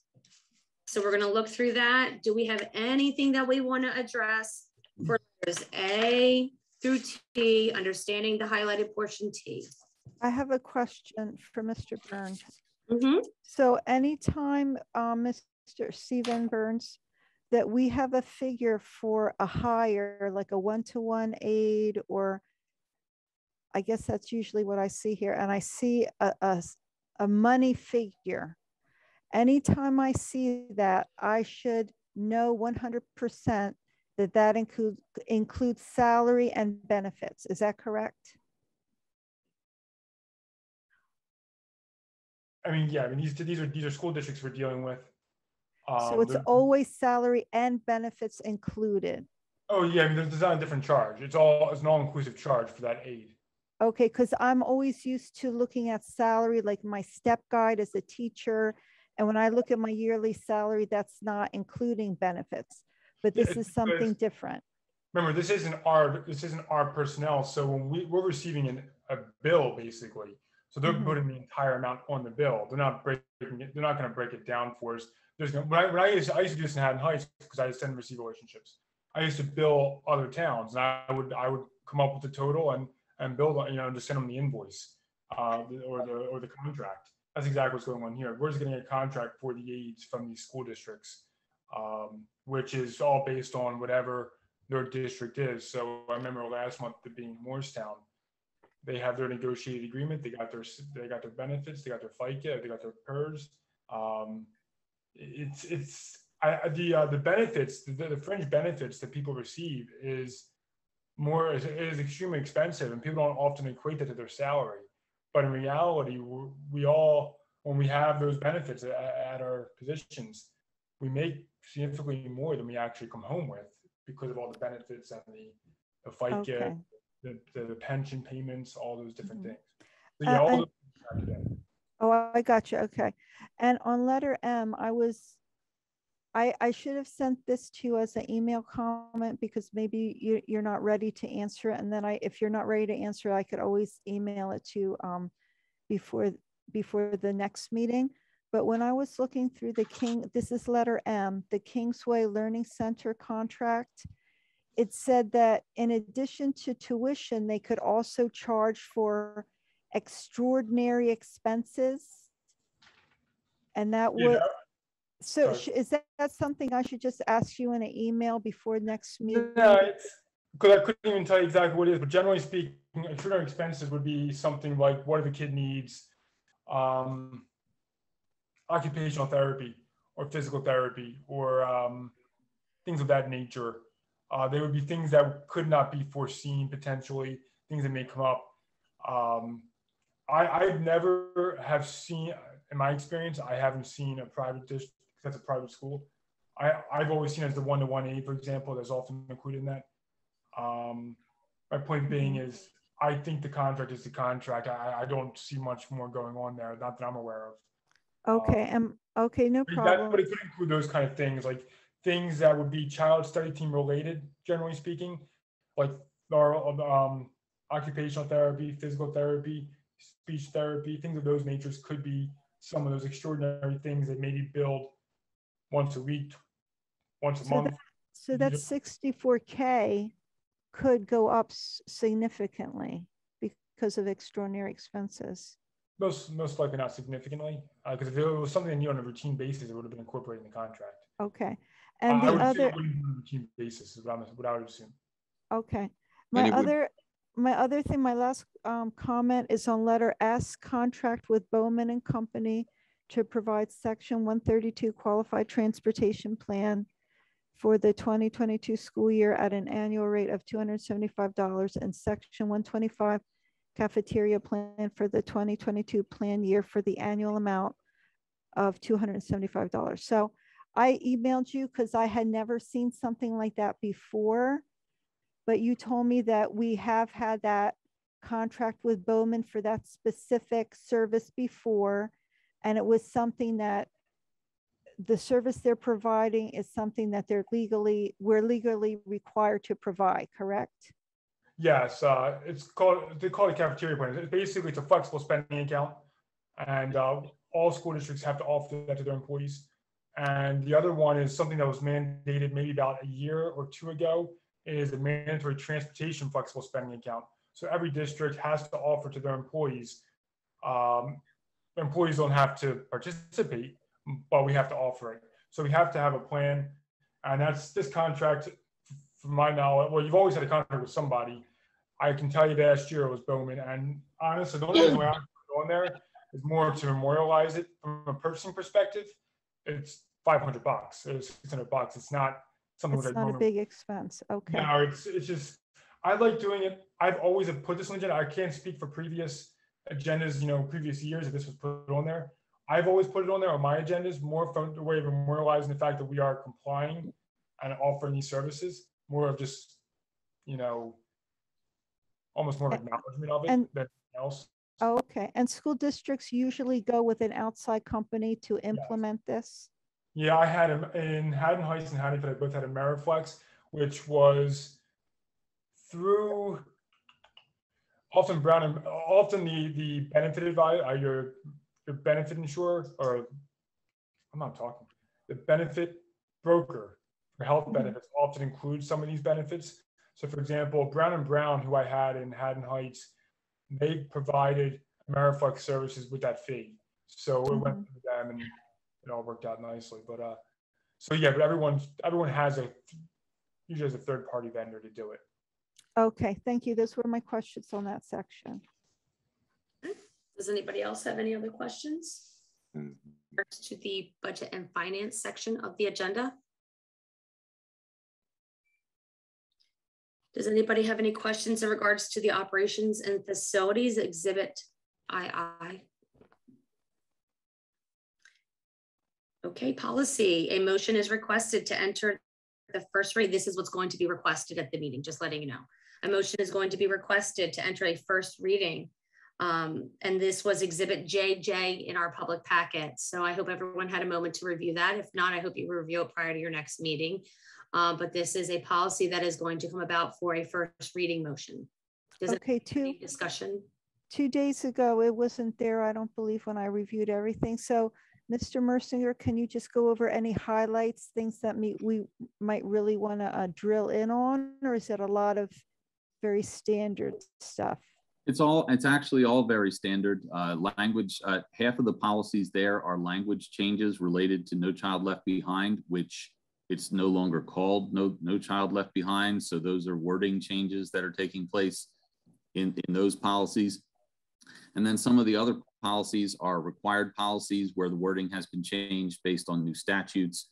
So it, this, this is one of the most basic policy updates I've seen in a very long time. Okay, thank you. Um, I have a question about the policy. So one of one of the items is gosh, how are these broken down? Uh, A, B, C, D, uh, D two B. What page is that? What page is it on? Gosh, is there? Because there's uh, like a it's number six in the PDF. I don't know what number. Okay. is. Or, That you- makes or it you could just name, you could just give the name of the policy. Um, it's a subsection of a policy about remote public meetings. mhm. And it says the board shall or shall not, I guess that's the decision that we're making. Mhm. um, require members of the public to state prior to providing public comment whether they wish to speak and to identify themselves prior to speaking. Yes. We shall require that. Is that what we already have in place? That's what we're deciding. I can't, That's the what check we're mark with the already- circle in the. That's what we're already doing. Uh, So a lot of these policies where choices are being made, either the policy's already in place that way or the practice has been in place, but they still offer us that choice. My recommendation to the board with certain things is basically the same thing that we've already had with just the wording changes. So, you know, we do require that. So for example, uh, if, me- if a member of the public wants to speak right now, they can't just blurt something out. You know, they, they Right. need to be recognized by the president. They need to state that they wish to speak, et cetera, et cetera. You know, so it's it's a process, and it's it's better than not having that. Maybe my broader question, having not been on the policy board is how do we know what in here is the stuff that we need to look at? Is it the thing with writing on it? That's what I thought. It was So, all right, so that's good. That's a good question. So when you look at those policies, the, the it depends on the policy that that you're looking at. So for example, sometimes a policy will have a few uh, words in bold. Those are the only words that have been changed based on, for example, new state statutes or new recommendations from the state. Those words in bold are the changes. Everything else was already there.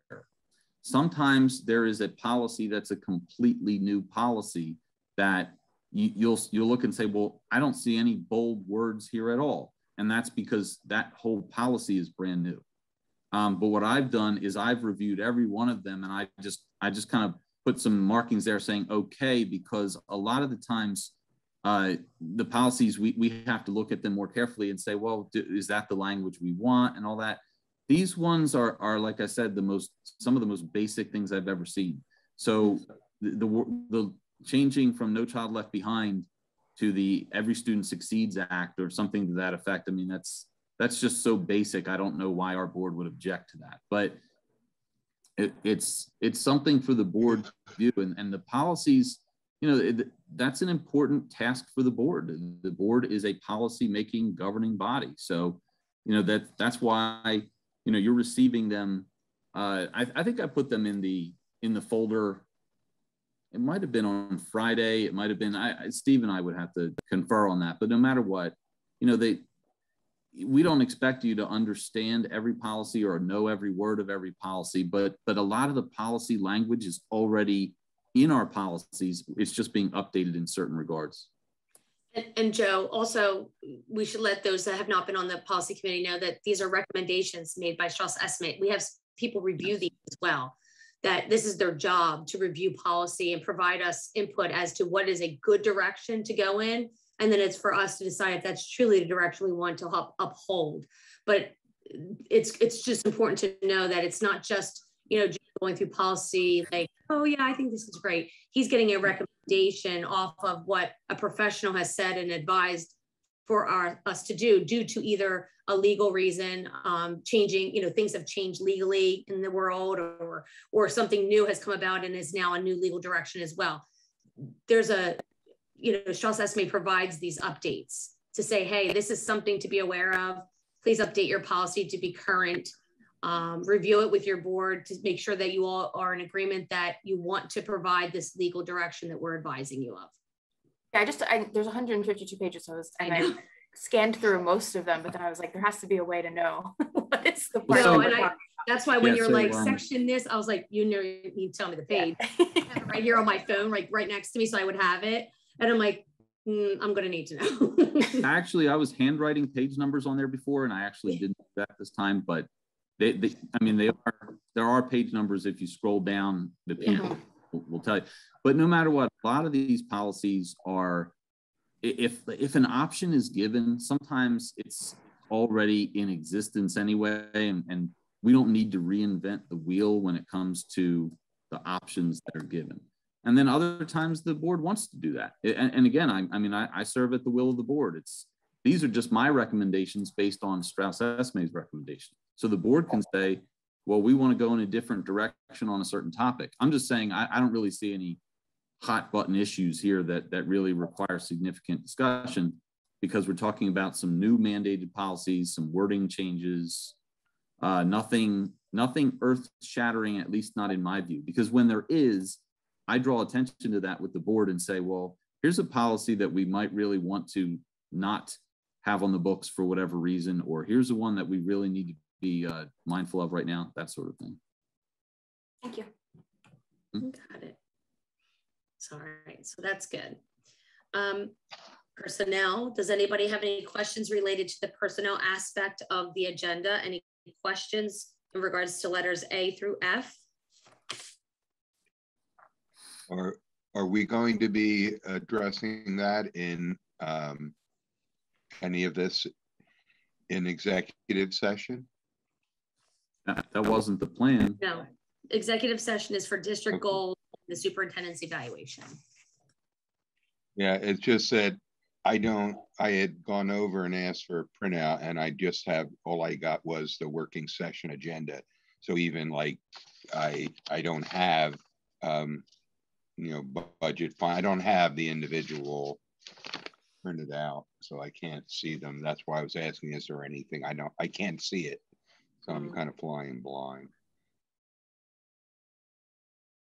Well, perhaps between now and our meeting next week, we can work to get you that, the hard copies that you. Yeah, that's what I will do. That's when I saw Karen today. That's what she kept saying. I said, well, unless we're doing it differently, that should be there, but I said, I'll get it before the next meeting. So that's all. It's just that it, like I say, it's flying blind for me. So, Understood, understood. yeah, And once you get it, then send it, you know, if you have any questions, send yeah, get yeah. your questions in, you know. Um, does anybody have any questions in regard to the board liaison reports that, um, Mr. Jenkins, Mr. Litwack and Miss Tertius Keely may bring up? Did you want to hear about anything now? Or did you want to wait to hear about it at the meeting on next week? It's totally up to the, to the board. I don't know if anybody has any updates.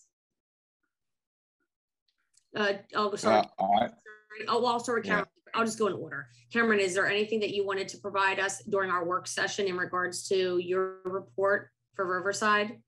Uh, nope, nothing at this time, Marissa. Our meeting is tomorrow night. I think we have a pre-meeting at six or six thirty, so I'll have a more comprehensive report next Wednesday. If I'm able to attend, I will be in Louisville. Oh, well, aren't you so fortunate? So, all right, Harry. for you, um, Yeah, right. Hey, it- you, you- hey Cameron, you go down to Kentucky to cut some of the bluegrass or what? Uh, nope, I'm going down to Kentucky to go to That's the. good. You can. I, it. It just went out Wi- to go to the, The Landscape and Lawn Convention at, in uh, Louisville. okay, cool. It makes total sense. Then you'll have a nice time. I like it. It's a nice, nice place. Um, Did you have anything, Harry, that you wanted to address? Yeah, I, the, yeah, uh, just to remind, once again, all the school board members that we both have, uh, um, the end of October, the 26th, 27th, 28th, the school boards conference convention, uh, that's virtual. And that will be, you know, that's where we're all signed up for it and we all should be taking advantage of it as best we can to help us understand what's going on and to find out, answer some of the questions that some of us may have about various topics. They have they, made the programs to be like 30 minutes, 40 minutes. Um, you know, they they did it last year, worked out well. They're fine tuning it. Uh, also, uh, with just today, uh, I believe we were scheduled for December 14th for Burlington County, the next meeting at Medford Village, and it's moved to December 16th. And anybody on the board's invited to attend as well. So that is what I what I have is liaison with you. the School Boards Association.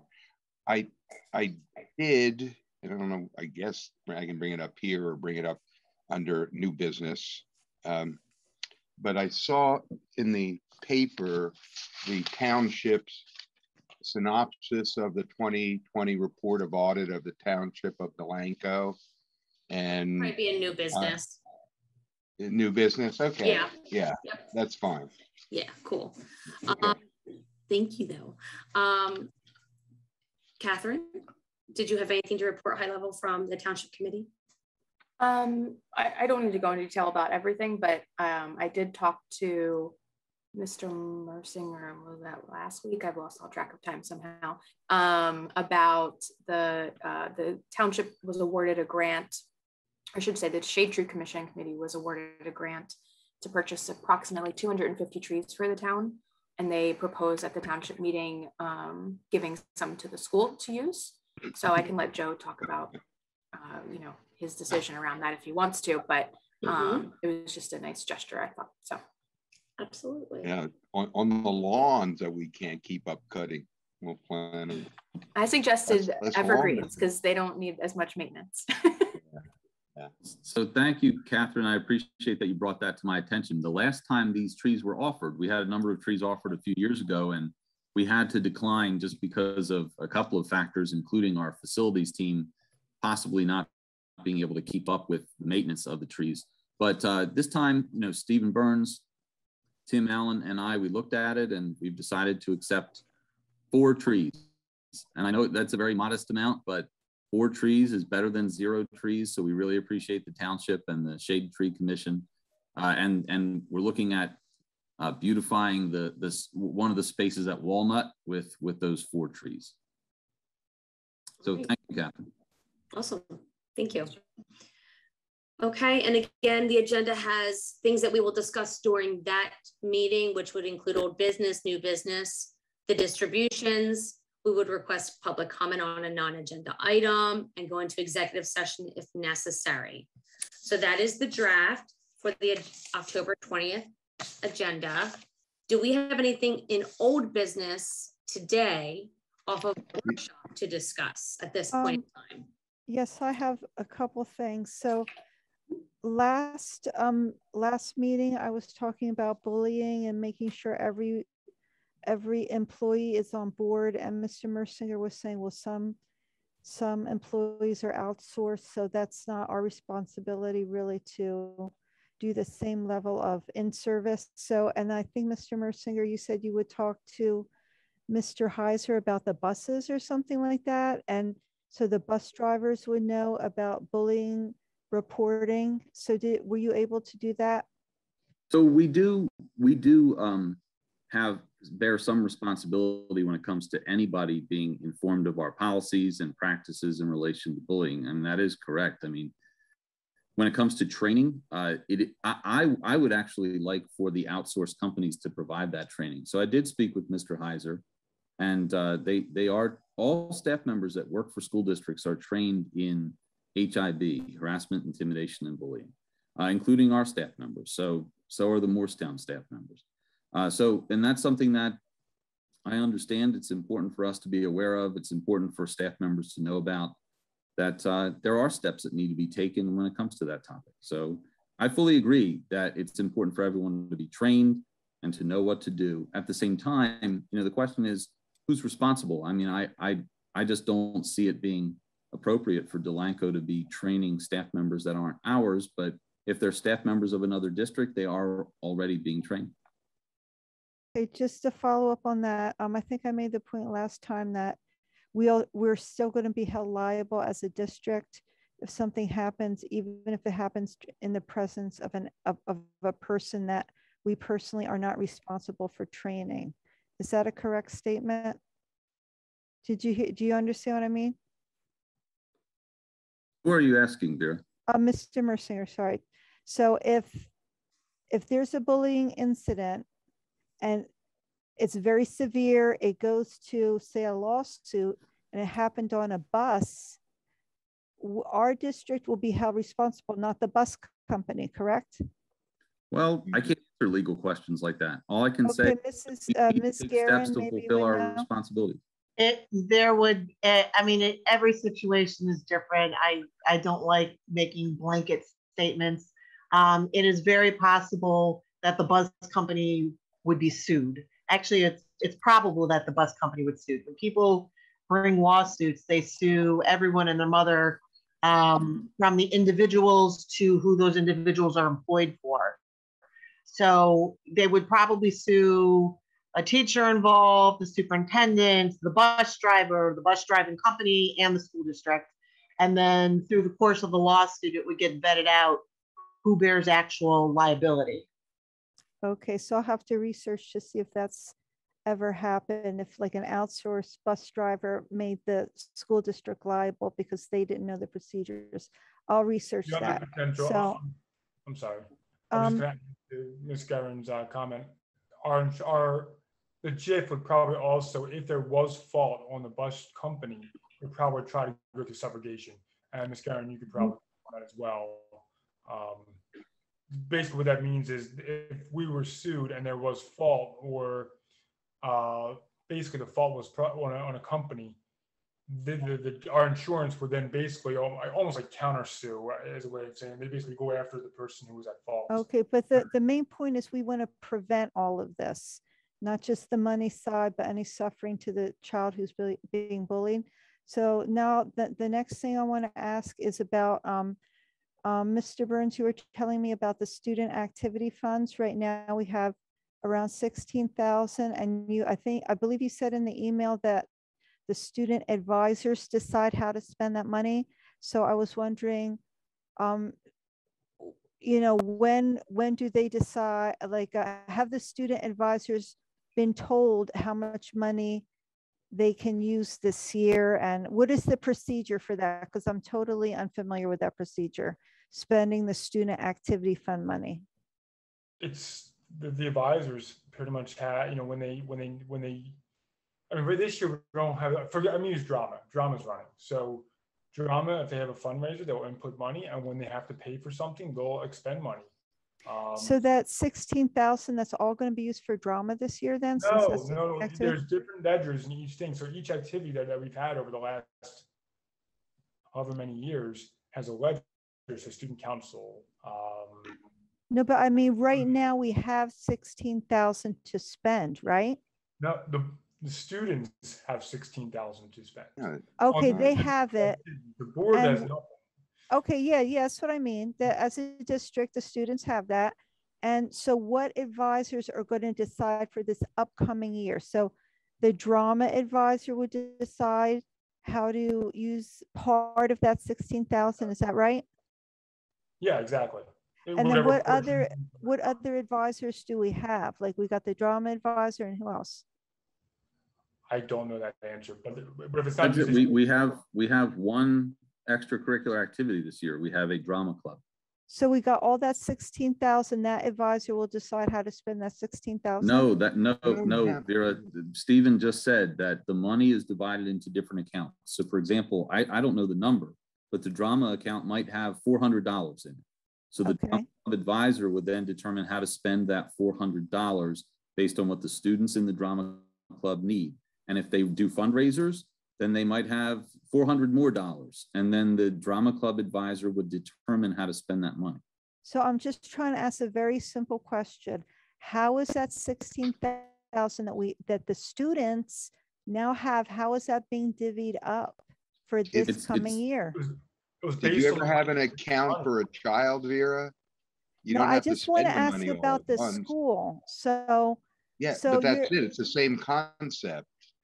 That you So don't are- have so to we spend the only money have- because it's in the account. so could, so since we have that sixteen thousand, couldn't we, We don't, Have the it- students since do. the students have it and we oversee that money, how is that money going to be used? Does anyone have an idea?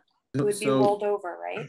But that, Yeah, what happens over, is the money stays in the account and it's used in the future. So for example, there's a chorus account, there's a band account, there's a drama account, and so on and so forth. So none of that can be used right now, except maybe for drama, because we don't have those extracurriculars right now. But it Is could be used for band or chorus as well, because even though that's not a stipend position, we have a music teacher that is doing, uh, definitely doing band, and we're talking about adding chorus at some point. Okay, so is this money that was, okay, I, I, I want to ask my last question now. So last meeting, uh, uh, um, a Board of Ed member asked a question, I believe it was Vince. And I think Marissa or Mr. Mersinger said they did not have an answer at that time or they were not prepared to answer.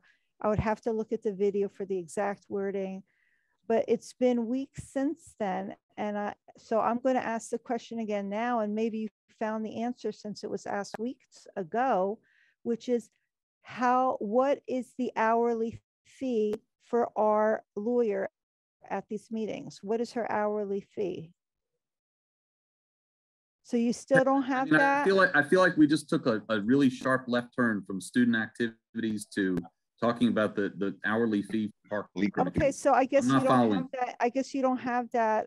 Um, this was a question from the It, last it feels like a non sequitur to me and, and a non. I don't have to speak in understand what that sequence. All I have to do is have topics that are old business. And since this was carried over from the other meeting, I'm asking it now, but I think you don't have an answer. Would you have an answer by the next meeting? I, Could I you don't follow up even and how about- remember responding to this question. I'm sorry, what's that, Joe? I don't even recall responding to that question. I can look in the video. I think it was Marissa who said, I'm not prepared to answer it. I said, I I think that, well, I mean, I personally am not prepared to answer that, absolutely not. And I think that that's something that could be brought up in an email. It doesn't necessarily have to be brought up during the public session. And I think that maybe that's probably the best way to get a Well, I think the public should know because that's their money. So, okay, I'll, I'll bring it up in an email. I'll, I'll ask in an email and I'll inform the public during a meeting. Well, so no well, problem. here's mean, what can happen, because Stephen anyway. Burns is the, Stephen Burns is the business administrator. He's the one that is more privy to all the bills than a- anybody else in the district. He can look at the bills, he can share the information with the full board via email, and that'll be that. I just, I'm sorry, but I thought we were talking about student activities and then suddenly we weren't anymore. It, the topic is old business. It's not just student You're, you're trying to control the agenda, which is a problem, Oh problem, my which is gosh, one of the I'm reasons following procedure, but now need- I will we leave need it to to you. Let's have a move on. lawyer present because of some of the difficulties that individual board Yes, members sure. were presenting, Vera. L- Okay. You know, um, it's like a excuse catch me. twenty-two that you don't realize that you're providing. I'm personally against having the lawyer here and using that money. I would like to use that for Yeah, but because of your behavior, it's part of the reason we have to have the I- lawyer here. Nobody has, nobody has made agenda. a ethics complaint against me. And if I'm. Because that would also incur additional legal fees and additional time No, it wouldn't. There- I made an that's ethics a- that is complaint against you unfortunately guys not and was accurate. free. That is I- unfortunately not accurate. But either, July- either, either way, um, Stephen, at nine PM, Vince Calaguar left the meeting. If you could please note that. And then July twenty twenty-one, Vera, I know I I made an received as did ethics board complaint. It members was to absolutely the members of. New Jersey It's School a Ethics totally different situation, Vera, when it's made against a Excuse board me? member by a board member. But the board has to have legal representation. But, Yes. Can I just clarify really board quick and you're creating- to, to help? Uh, and I don't know, we, we do have different hourly rates. If I knew what our hourly rate was off the top of my head, I would gladly share it. But I actually don't know Delanco's rate. The, um, an ethics complaint is a legal process. Um, what Ms. Darmo filed was a general complaint. Um, it was not, um, in the form of a formal ethics complaint. It, it was more like a, a letter with a list of issues attached to it that was referred to the executive county superintendent and addressed at that level. An ethics complaint, you don't have to be a lawyer to address one. Many boards of education will use their lawyers to do it. Anyone can file an ethics complaint. It looks a lot like um, uh, complaint in my world is a legal term of art. It has a specific form and a very specific look to it. It looks like a lawsuit. You write it up, you serve it on everyone, and it follows legal process. That is an ethics complaint. It does incur, boards do incur costs when you go through it because even if you don't use your attorney to write it, you use your attorney to defend it. So I just wanted to offer that as a bit of clarification and perhaps move this conversation forward. Okay, let's move that. on. Thank Great. you. Yep. Okay, anybody else have anything for old business? I have something for old business, Marissa. Yeah, I just, Wait, wait, go ahead. sorry, Phil started first. Okay, my thing for old business Yeah, is yeah, when are we yeah, go going to go back to a live meeting? When are we going to have an in-person meeting? I think that's extremely important. I think, you know, we can't do this Zoom meeting. Sure, everybody loves Zoom meetings, but we need to meet in public. I think we mentioned at the last meeting, we were going to reevaluate this in November um, to, to have another discussion about this because it was enabling Stephen to notify and provide um, notice, um, both written and electronically in the proper time frame to do so. And he was going to do it in a financially savvy way. And we said we would revisit this in November. And originally, the reason why we went virtual as opposed to in person, just as a quick backstory, was a tech technology issue. Um, so many in the public wish that we could live stream and have everything, basically have it as if it were a Zoom meeting, but have us in person. And currently, we don't have the capability to do that. We had the professionals um, come in and provide us some input on that. And at this point in time, they just said that we don't have the, the technology to have what we, what it seems everybody would want, which is their cake and eat it too. Everybody wants it all. Um, so if we were to go in that fashion, it would be a more restricted type event where perhaps the live streaming aspect would not be available. It could be an in-person meeting with maybe a recording that would then later be posted. But again, these were discussions that we had at the previous meeting and that we can absolutely have again to decide on how we want to proceed forward. Because I agree with you, Phil. I, I love the in-person um, aspect of it. I think that there's great value in it. And um, if we can find a way to keep everybody happy and and and make it happen, then yeah, I, I'd love to do it. But right now, because of the audio component of this, um, it doesn't allow us to have it the way that the majority would prefer it to be. And that includes those in the community as well. So we're trying to find ways to keep everybody happy and everybody informed. Unfortunately, when we do that, there are some parties that don't necessarily agree. And I totally understand that as well. Because like I said, I, I agree. I, I was always saying all along that I wanted to be in person. I think that there's great value in it. But I also understand that if we want to keep the fashion that we're going in right now, we don't have the technology to support it. And I understand that, you know, we did have a good relationship with Moorestown until we lost that. And I'm sure Moorestown would have helped us out, but I do think it's something that we have to seriously get back to. That's my two cents on that. Thank you. We thank We- you. uh, Phil, Phil, we still do have the Moorestown Tech team working with us. Oh, we do? I didn't We do, realize. yeah, that. Albert, Albert is a member of the Moorestown Tech team and they still work with with us. It's just, they, they know that we don't have the equipment that would be necessary or even the manpower that would be necessary when it comes to setup, breaking it down and making sure that it's all done in a timely fashion in a, in the school when it, the space is already being used by the students, uh, staff members and so on.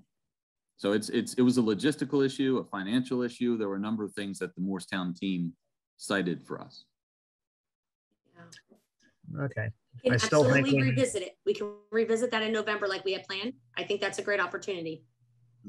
Old, old business, if I may, that Um, was actually brought up by Vera uh, last time, and I just wanted to thank Mr. Dovey and especially Mr. Dovey's wife for, for working um, as a teaching assistant, especially during this time that a lot of people aren't. And I'm glad that both he and his wife were promoting education and and serving the communities. So thank you. And, and please thank your wife as well. Exactly. Yes, please.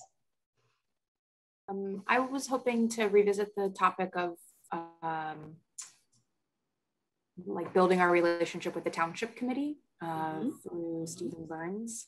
Um, I know that we've brought that up before, so I'm hoping this is a good time to chat about that again. Yeah, absolutely. Um, I guess more generally, uh, we haven't had a very good relationship with them in the past, and I would love to do whatever we can to open up lines of communication so that they understand some of the issues that we're having with the budget. Um, I know there's going to be a new crop of uh, or potentially, I should say, a new crop of uh, members joining in January. Um, so I just wanted to kind of get that on, you know, Stephen's radar, um, Mr. Mersinger's radar, uh, to make sure that, you know, in the next several months, we kind of get a plan in place, hopefully. And um, well, I'll wait for new, new business for the other aspect of it. I didn't know if there's uh, anything else you wanted to discuss in that regard. Yeah, I mean, I, I, I'm happy to continue to be the liaison to the township. I feel like I'm probably a bit of a poster child when it comes to that relationship for um, negative memories, feelings um, with the township committee. So I don't know how far I will get with uh, trying to persuade them to our uh, to uh, improve our relationship. But um, if there's anybody else who's willing to step up as the committee liaison, um, I'd be happy to have you take a stab at it.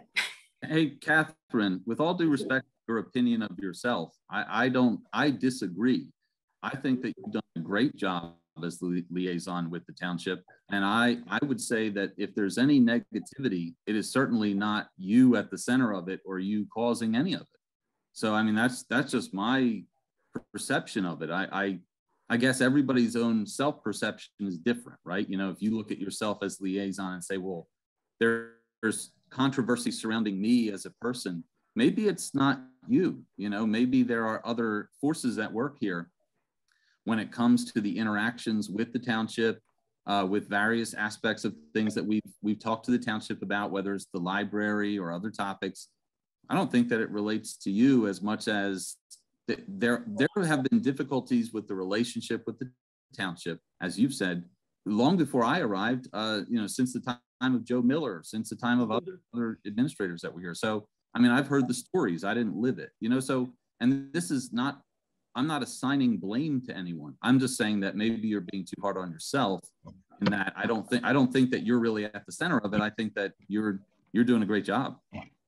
Yeah, and I would I would, I would echo add, what Joe was saying. And um, of course, I support, you know, whatever choice that you're looking to get from this. But um, again, I, I echo what Joe says. And I believe that you've been a phenomenal liaison and have given us great input from your perspective. And I think that that is invaluable. And I think that there's nothing wrong with how you perceive the information you're you're being you're listening to. And I, you know, I, I think it's great that you're able to bring it back to us and to provide us that insight. I think that we've probably received more insight from you being a liaison than we've received in many years past. So I, I you know, it's a great, it's a great thing. And um, I, I really appreciate you doing that. And I know it's not always an easy thing to do as with anything else that we do as a volunteer and put our time into, but it's greatly appreciated for sure. I'll very, just make very definitely. I think it's a I've great never doing it, Kat. I do have a question for you. Is the township planning on going back to in-person meetings anytime soon? No. I'll make the comment that I've never heard any bad stories about the school and the township committee. And I'm very grateful for the high quality of leadership that we have at the township committee. That's my comment. Well, I think that you've done a great job, Catherine, and you know, at least complete the year and then reevaluate. You know what I'm saying? We all have our assigned duties and it just makes it easier when we, you know, we'll have new board members as well. And then we'll have the reorganization in January. And then at that point, if you're not comfortable, then, you know, maybe opt out. That's what I would suggest so that you know, because if someone else steps in now, they're not going to be effective. And our job isn't necessarily, our job is once again, I'm going to keep reasserting it, is to benefit the students. The students, we're not elected to the township. We have a different agenda. And um, it'll, I don't know if there's any other old business, but it kind of leads into the new business. So I'll just stop now if there's any other new business or old business. I'm sorry. I, I do not have any other old business, but Catherine. I'll, I'll lead in. Well, I guess I'm just is, curious, kind of what, know, what Stephen Vera feels like his time frame is for uh, Vera, you know, might, when he feels like he'll be able be to reach to, out. Wait, Harry, I'm sorry, I'm sorry, because both of you are talking on top of each other. Harry, Yeah. Karen was finishing Yeah. up thought is in, and she was speaking to Stephen. So I just wanted to give her the opportunity because when the both of you speak, it, it breaks. the- Sure, sure. Cool. Yeah, I mean, the, the first part of that was just more about when, uh, I don't know what I'm hoping to get out of this, other than to say that I would, you know, I would love to see some sort of plan in place to make sure that we open lines of communication, especially before both groups start discussing budgets for next year. So, um, I don't know, Stephen, what are your feelings about that? I know you've just gotten on the job and you have a lot on your plate, so I'm, I'm well aware of that. I'm not expecting you to Yeah. call them tomorrow, but Because I only work three days a week too, so I mean, it's, Mm-hmm. it's not, I, I feel. Do you speak a little louder, Steve? Yeah, I. I Steve, you're away from the mic. I feel, Thank you you. know, working three days a week and being new to the position here, um, I, I don't know. I don't have an answer for that. But uh, obviously, when whenever we can utilize them, I would expect to utilize them. So when Harry brings up the fact that having a shared service, I'll, I'll reach out to them. I don't see why I wouldn't. Um, so, I mean, I, I have no problem reaching out to them, those kind of things. So I'm not sure. Yeah, I mean, I think what what the, what just based on conversations I've had with them in the past, what what everybody's kind of hoping for is just an introduction. Like, hey, I'm Steve Burns. This is how you reach me.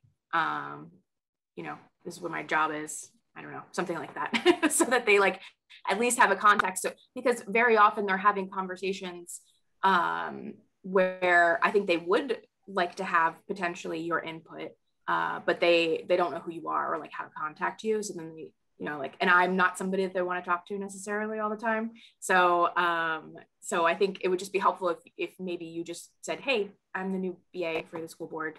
Um, let me know if I can ever. I don't have a problem doing that, but on the flip side, I don't know who they are either. Yeah.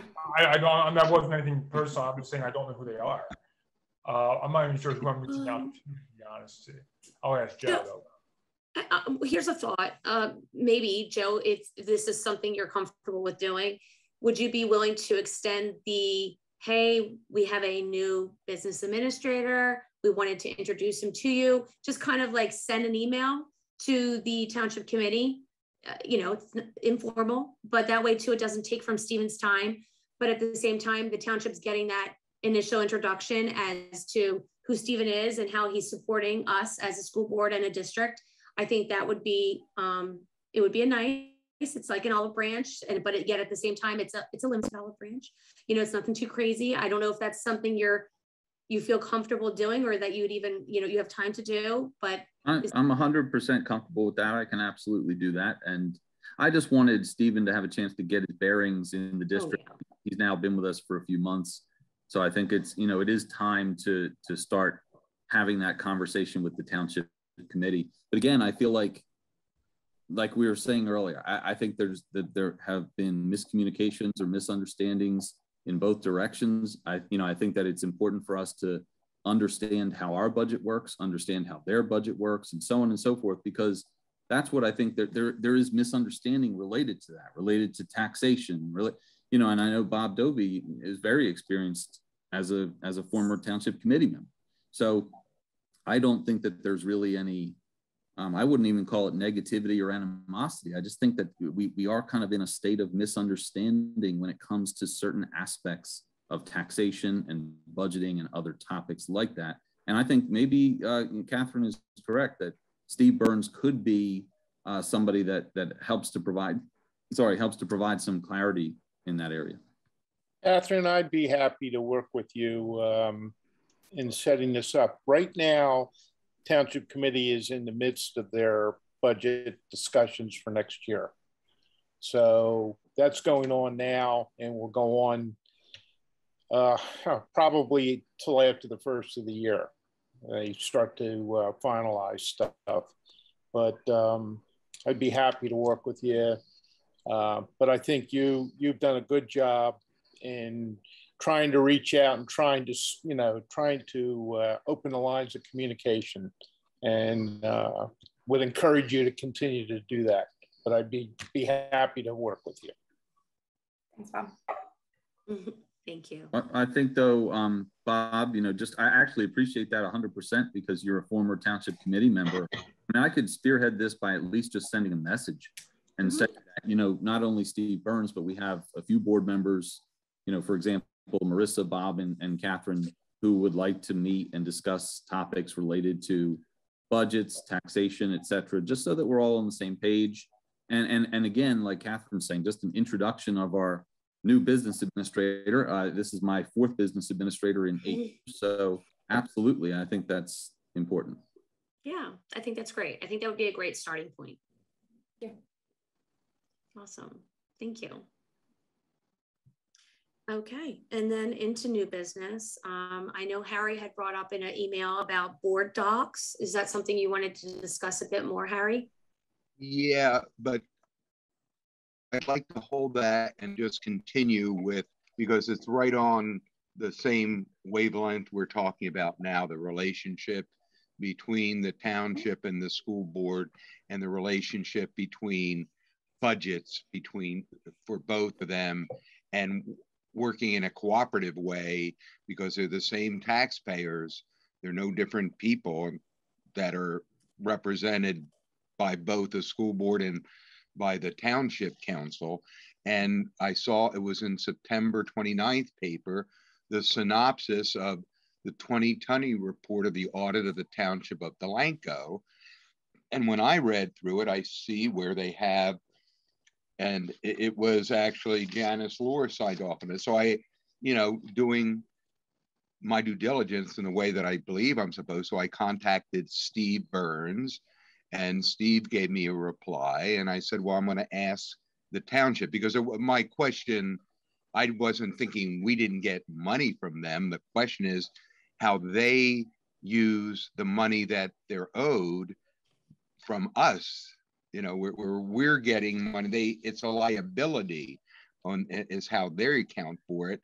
There was a deferred liability of local district school taxes of one million four hundred and forty-three thousand two hundred ninety-one dollars and forty-four cents as of December thirty-first, twenty twenty, and once again that same amount that was from the previous year. So when I look at it, it looks to me like it's a, a line item, not a you know, that it's not in the regular budget. So I, and what does it mean? And I think that's something that needs to be explained to the entire board because I called Janice Lohr, who said, you know, I just signed off on it. I said, fine. She put me in touch with Bob Hudnell. I don't know if anyone knows who he who yes. he is, but for the last 23 years been the CFO uh, for the township and he explained somewhat and um, at some point it was that it was a problem because it was from 30 years ago with Florio and then uh, I still wasn't quite understanding or satisfied with the explanation. So he put me in touch with Richard Schwab, who said, oh, it has to do with from 20 years ago when McGreevey was the so I'm not sure. And he said, Oh, this is how we've always been doing it. But what does it mean for us as a school board? Because if there, this is the liability because we have our our budget year runs from, you know, July 1st to June 30th, and the township budget is from January 1st to December 31st. And a couple years ago, the then mayor, yeah, can you hear me? Because it's coming on my thing. The then mayor came in to the school board meeting, giving us all our individual, you know, uh, printed out the budget for the, uh, you know, for the township, and that we, you know, we don't know what we're doing. We're, you know, we're not and this is part of, as it goes back and how it affects us, how it affects the school board, is that it's part of the, the 30 year pilot program that the school board will never see profits from. And at time when there was a meeting, a sit down meeting, it was after the fact, after the shovels were already in the ground, the, you know, the ink had dried. But for the next 30 years, we have a budget problem that we didn't create, but we have to live with. And likewise, you know, the township has to act accordingly about the low income housing, fine. And they, they solved a problem for them, but created a greater problem for us and a real problem for us. And it needs to be understood. So I suggest we ask either the mayor, the current mayor, or uh, Richard Schwab, the town manager, explain it to all of us at once because I would like to explain it to you, but it sounded like it was kind of a circular argument of a dog chasing its tail that it we've always done it that way and blah blah blah but that money it is basically the way it was explained was you know that's that's why I asked earlier the billing is it every month? Is it every you know it's on their books as a liability. And what does that mean? What does that mean what they can do with that money is they use that to do kind of deals that are in effect causing us financial difficulties on the school board. Either you know i mean i don't think it's with intent but it's certainly is what's coming about from those decisions and we should understand it so vera maybe you should you know if you want to go into accounting and you know um, testing the you know legal and the uh, accounting systems you might want to focus on that. You're saying that everything is hunky dory with the city. Um, it affects the municipal budget, affects the school budget. And likewise, once again, the same company that had a 30 year pilot with us had a 30 year pilot with Evesham. And when the board brought it to the attention of how it affected them, the Evesham Municipal government worked with them and made adjustments. That did not happen here. Just the opposite. We're, we're told, hey, it's your budget, solve the problem. Okay, since you But brought my name up, we create a I'll problem. just say something since you brought my name up. The money they get from that pilot, they put into the town for whatever expenses they have. They give us that money, they still have their expense, they still need my tax money. So, so it, it, it doesn't make sense to me to say, oh, we should get that money. They use that money for what we need for the town. If they don't have that money, my taxes still have to go up to pay whatever deficit there is. Yeah, So That's if we right. need money, if we need money, we got to raise taxes. I'm trying to see, like you, where we can save it We're and put the most that we can under- into education. That's what you I'm trying to do, just like understand that we're capped? What is it, four percent now? They, they doubled it last year that we go to four. You know, Vera, do you understand that for thirty years, there is no, any, any child that goes into living in- those sixty-four units that comes into our school system isn't necessarily taxed. We don't get anything from it. It costs us. Special ed, we I have know, students that live there we've never seen. There's, Yeah, and you're saying it isn't a problem. It had, it had to be a pilot for what I understand. I didn't understand this Yeah, from, before. that's the spin that's from the council. You're representing the students of, not, state- not just the taxpayers, the students. State taxes will go up. uh, Taxes blah, blah, blah, always go up. It's not like, uh, you know, you want to believe what you want to believe, Vera. So Okay, that's so if we need, but if we need more money, that we could go to the taxpayers if we wanted to have a higher budget, correct? Mr. Mersinger? Could we go to the taxpayers if we wanted more money above the cap? Yes, we could have the community vote on the, the, um, the budget. That has not been done for a number of years. Uh, and historically, in many districts, budgets have been voted down. Uh, we would prefer that not to happen. Uh, so we stay within the cap. Uh, we also have enrollment adjustments. We have healthcare adjustments. We have banked cap, et cetera, et cetera. We have certain things that will add to that amount. Um, but, uh, so we can go above 2% based on certain adjustments, but uh, other than that, we would need to put it to a vote to the community. Okay, so it's up to And the just like you said, Vera, you don't want to pay more taxes. So you're on the board saying, I don't want to pay more taxes. I'm trying to use, It's okay if, actually, uh, what? I'm trying to, I'm trying to do things. uh, Well, I don't even want to unveil my plans yet because they haven't Well, make your secret, it's a nine-member board, Vera. Should I tell my secret? board. Okay, I'll tell my secret, but I'm not working Your as a secret board of. plans, we can't even see you on the Okay, let, screen. let me tell Your you, if you secret listen, if you listen, you'll know. I, I care about the tough times that people are going through now. I don't think they would vote to have the taxes go up. And I care about the kids. So I'm working with Pastor Waleska Trinidad through the Dobbins Church, and we're trying to get a volunteer tutoring center going as we speak. I am doing this with the pastor and with the help of the trustees. I have a meeting with her Friday, and I haven't talked about it because I'm doing it as a resident.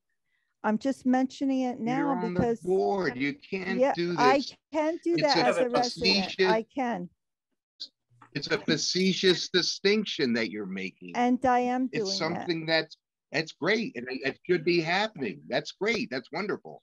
But that, that has nothing to do with school board issues. That's I'm, you as a I'm community only member. bringing it up. I'm only bringing it up because I'm only bringing it up because money is tight. Uh, the budget voters won't vote to uh, raise taxes. I don't think. Vera, do you So understand why do the budget is tight? I have You to do something, why the and I and I am doing something. Yeah, but do you understand why the budget is tight? Do you Hey, Harry? understand that the, that what you're saying, oh, it's great. I they're would like to move and using it on. I would like to move It's on. not coming to the school board. The, the forty thousand, sixty thousand, a hundred thousand dollars that we're putting out for special ed kids, we're not even seeing. But it's only for the next twenty-eight years, I guess now. Hey, Harry, in your, Yeah. Harry, Yeah. with what, with what you were saying, uh, myself and I believe it was Marissa and also Vince did have a meeting with the deputy mayor and the mayor a couple years ago. And we brought up some of the same things that you were bringing up right now. And unfortunately, the township didn't have any money to help us at that time. Yeah, they they have a almost a million and a half liability that is that comes from the schools. That's what Harry, they're trading with. Harry, believe. that's, uh, they collect the tax money for all the entities. So the money that's owed to the schools is considered a liability against the revenues that they're collecting, the tax revenues. So that's where you, that's where the, the liability That's comes in. where, So it's a liability because they owe Yeah, the it's- I mean- schools that money that they've collected on you, on our behalf. yeah, and because the budgets aren't aligned, you know, by time, it presents, you know. Yeah, there was, there, Phil- there was a, Phil remembered, uh, I think there was a, this, this goes back it five, goes six back, years, I think at one point. no, it actually goes back. No, no, no, where. Yeah, I know, but I'm saying where the school board acted, the, I believe, was asked by the township, instead of going for the two percent that we should have, oh, only go for one or zero. At first they wanted zero. I think they, we, we compromised with one. You know, there's been compromise on our end over the years, but you know, it, it turns around. This is what happened. And that's what I, it needs to be looked at, just, Well, well, well, you I, know, paving over the problem without seeing how the pothole got there. It'll come back, um, but it's only I think- twenty-eight years. I, th- I think I mean, maybe I'm there's, foolish. I think if we have some discussions, you know, in, I say privately, in a small group that's, you know, uh, not, uh, well, we, we, we can open up some lines. No, no, no, it, that, because that's not going to get anything. That's not going to get us anything. So, you know, I would say after the after the election uh, in November, um, you know, I, I think at that time is that's when we should sit down with Richard, uh, with uh, Bob, who's their uh, CFO, and um, you know, perhaps Steve uh, and Joe. I, I think we could probably sit down and just talk about our individual uh, situations so that we can see perhaps they may have some ideas for us. We can have suggestions, you know, back and forth to try and work this out because they do know that the schools affect the value of the town. You know, real estate wise, uh, quality, you know, wise as far as the type of, you know, uh, citizens that we have. So I, I think, you know, sitting down and having that kind of a conversation and hopefully we'll understand what their issues are. Uh, we can ask questions like, hey, can you change your, you know, you have pilots. Can you change the distribution, you know, uh, of, of how that money is, is given to the township? Uh, you know, where we would get a portion of, of a, you know, perhaps some of the pilots. And I think right now there's probably three or four pilots.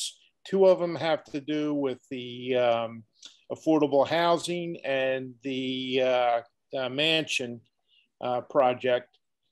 And, you know, those, you know, there are no, uh, well, there are no school kids coming out of the mansions. I don't believe there uh, at this time. There are that come out of the uh, the crossings, uh, and you know I think if they understand the impact, and I know Phil has worked the last couple years very hard trying to get people to understand the impact that that had on our budget and on our schools, and you know so hopefully we can work together you know, and and solve the problem that uh, we're both facing. I say both the school board and the uh, and the township committee. And I think the members there that are there now, and the ones that are running, I, I, I think they they all feel that they would like to see, you know, this this financial problem that the schools are having solved. So that's Yeah. my that's my two In cents for everyone's the best interest. That's for sure. It's everyone's. We appreciate interest. And, and maybe start with them cutting the grass, you know? You don't have to Mhm. cost us money to have us save money. well there there If there's you some of cost the, us money, that's some of the discussions we can have. yeah, yeah, no, I where, know. where they No, can no, help no. us, uh, maybe we can help them. You know, so I, I Yeah, you know, that's how it's supposed to work in the community. Exactly. And we have a superintendent who's represents us and we have our, you know, business administrator. And, you know, we, unfortunately, we did have a meeting like that, but it was an after the fact meeting. yeah. That is like, you know, it's like telling you, the- here, you're going to have this problem for the next 30 years. So Well, what Um, I it- what I see right now with no Steve, longer, Stephen uh, has impressed me with it, the way he's he's developing uh, budget, our budget, uh, looking to the future, laying things out, um, making, uh, trying to make sure we understand the process and are thinking, you know, of different scenarios. I think he's done an excellent job. I think part of that, uh, that would be something the township committee uh, would probably be impressed with also. And uh, yeah, so I, you know, I, like I said, I, I just think if we can sit down and talk in a, um, in an adult manner, if you will, we, I, I think, oh, you know, so uh, we can probably resolve some of the issues that are uh, confronting us right now. So, I let's agree. hope we can. I, I, that would be great. That's how we're supposed to operate. And I can't say it any more times, but I'll keep saying it many more times. It's the same taxpayers. it's the you know it's not a different group of people and the people moving into the senior development that um, i ran in actually yesterday in, in on my bike ride into Fernouillet, and um, he you know i asked him about it he said well it's and i ride i see those houses are being occupied there's um, and he said it's a um, own and under contract about he said it was about 60%, but there had been at that meeting I'm talking about projected numbers and then how that would be have gone away by now, which it hasn't because those were mm-hmm. supposed to all have been sold by now. And just for people's understanding, the market has increased 12 to 14% at least. So what they were projecting those homes were going would go for, they're going for more now. And realistically, the people that move there already raised their children, paid school taxes somewhere else. That's not what they're hoping to accomplish by living here. They're looking to keep their taxes as low as possible. But they wouldn't have moved here unless they could have afforded a $350,000 home. But you have a population of uh, Kat and Steve and um, Cameron that plan on living, raising their families here, and they need and they deserve a top flight school system, and we need to make improvements. We all know that. So that that's where where how I look at the big picture of it. That if we all could work together, it does save taxpayer money, and it doesn't. You know, you can rob from Peter to pay Paul, but you still end up. And if we have to raise taxes in the town, if the town says, hey, we have to raise taxes so that we can have more money for our schools, there's all kinds of ways if there's a political will to accomplish things. So right. I think we're on a, a much better course. Mhm. And I think, you know, even as we're moving forward in this process of having board of the whole, where our communication is much more adult, much more uh, practical, myself as well, because it's, you know, we have to have a format that we can all relate to and accomplish what we're trying to achieve, which is once again the improvement of learning and academics.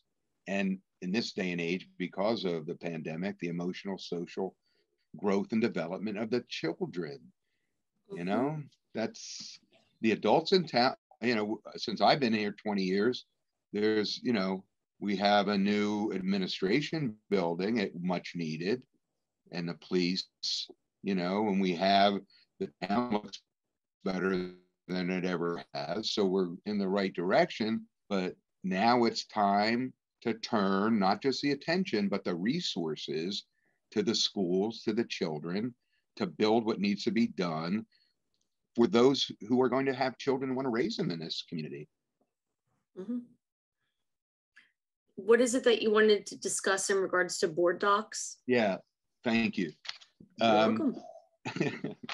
that was the um, the New Jersey School Boards Association uh, at their last meeting introduced this BoardDocs, and what it uh, all I wanted us to do is look in to see if that would make sense for us to get. It's it's a way of once it's set up that the um, um, like chain of command of communication is automatically you know puts people they're able to reach certain information they're not able to reach certain information and it was very impressive and as most of you know i'm not that versed with the technology and i could understand the concept of why it would be useful but i do not know the cost. It's a private company apparently but going through the school boards association i'm sure it's discounted somehow but and it may be out of our reach because uh, i think joe said what we use now doesn't cost us anything but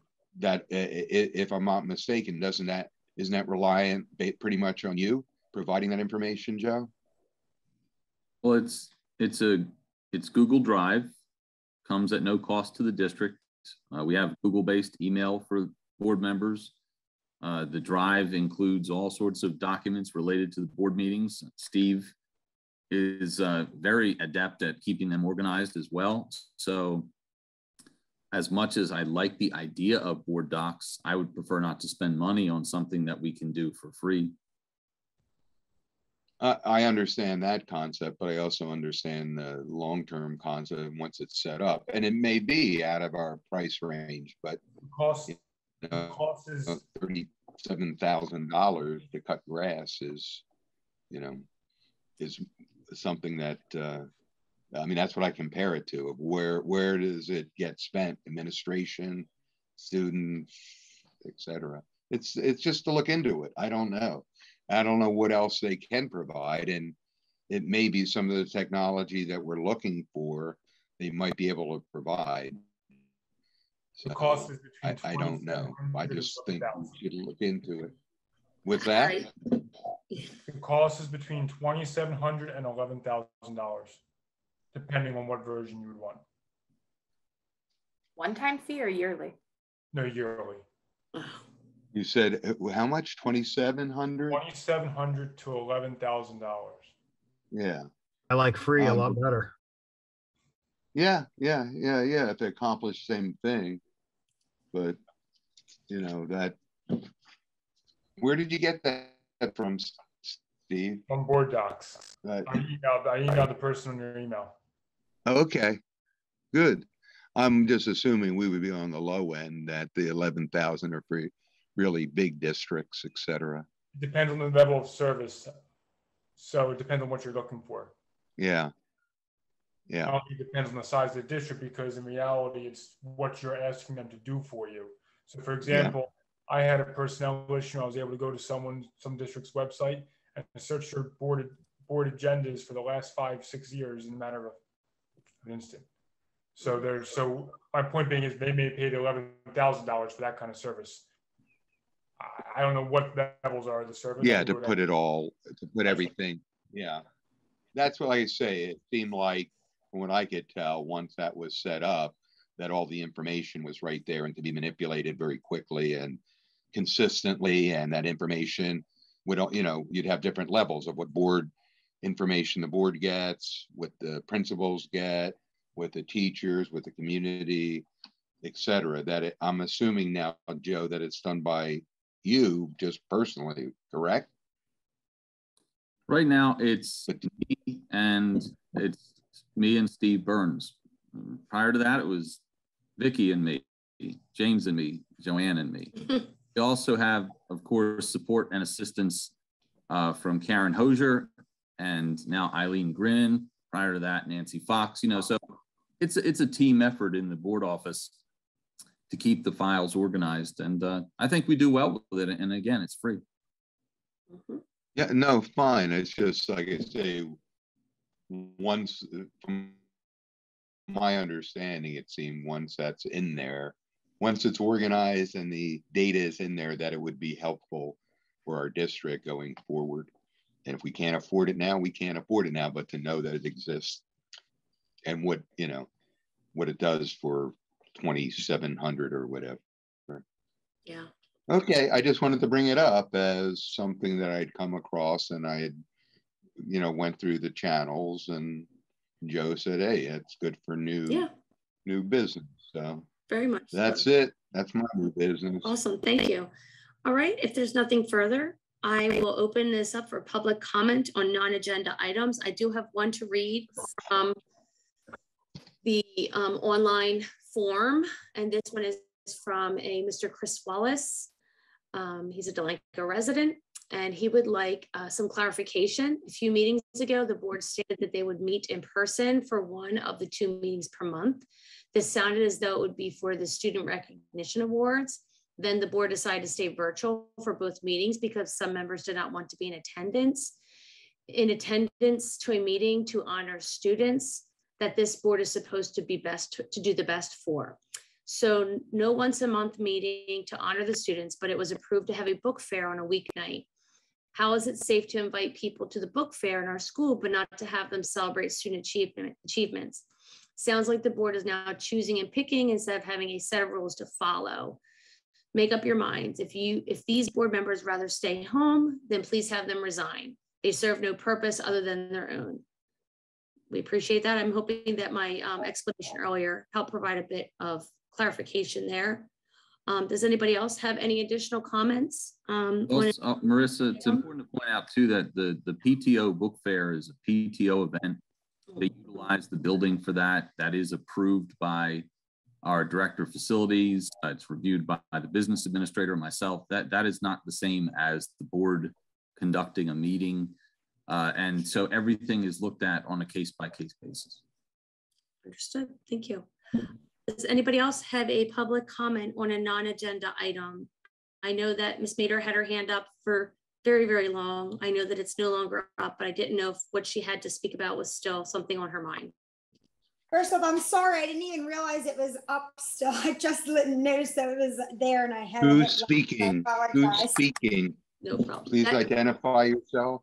Um, Dana Meter, and I'm not turning my camera on because I'm in my pajamas, so sorry. No worries, no worries. Comment was on an agenda item that had to do with, um, the custodial staff, so I don't know if that's time for me to comment now or not. You can bring it Oh. up now. I, I just want to say that, um, you know, I got to sit in on a meeting, um, yesterday and talked about the, um, ESSER funds with, uh, Mr. Mersinger and the other DTEA members and Mr. Burns. He was very thorough. It was a very informative meeting and we were very glad to be part of it. Um, I will say, you know, about this other custodian that is going to be, um, or, you know, that was an idea. Um, Miss Mr. Allen is doing a, a fantastic job and he's working hard, but I also have to give some credit to Mrs. Be- Miss Best because she is doing three jobs for some people too. And um, just speaking as a Walnut teacher, um, we desperately need the help at Walnut. We do not have a full-time custodian there all day. Um, like I had to mop a spill in my classroom the other day, you know, myself in the middle of class and I had to stop, you know, my class to take care of that. So you know, I think that this extra part-time person will help all around. Um, I don't think it's just going to be somebody to help mow the lawn. I think it's going to be someone who will help Tammy, who's doing four lunches by herself.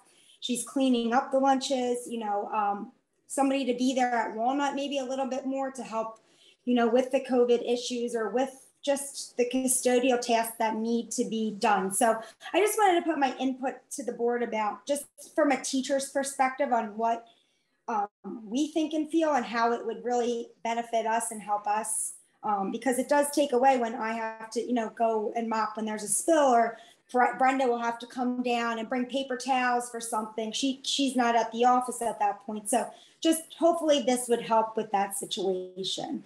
Um, so that was just my comment about that. And then I did just want to comment um, about something Ms. Vera, Mrs. Dharma was talking about with the reading the reading levels for Fountas and Pinnell.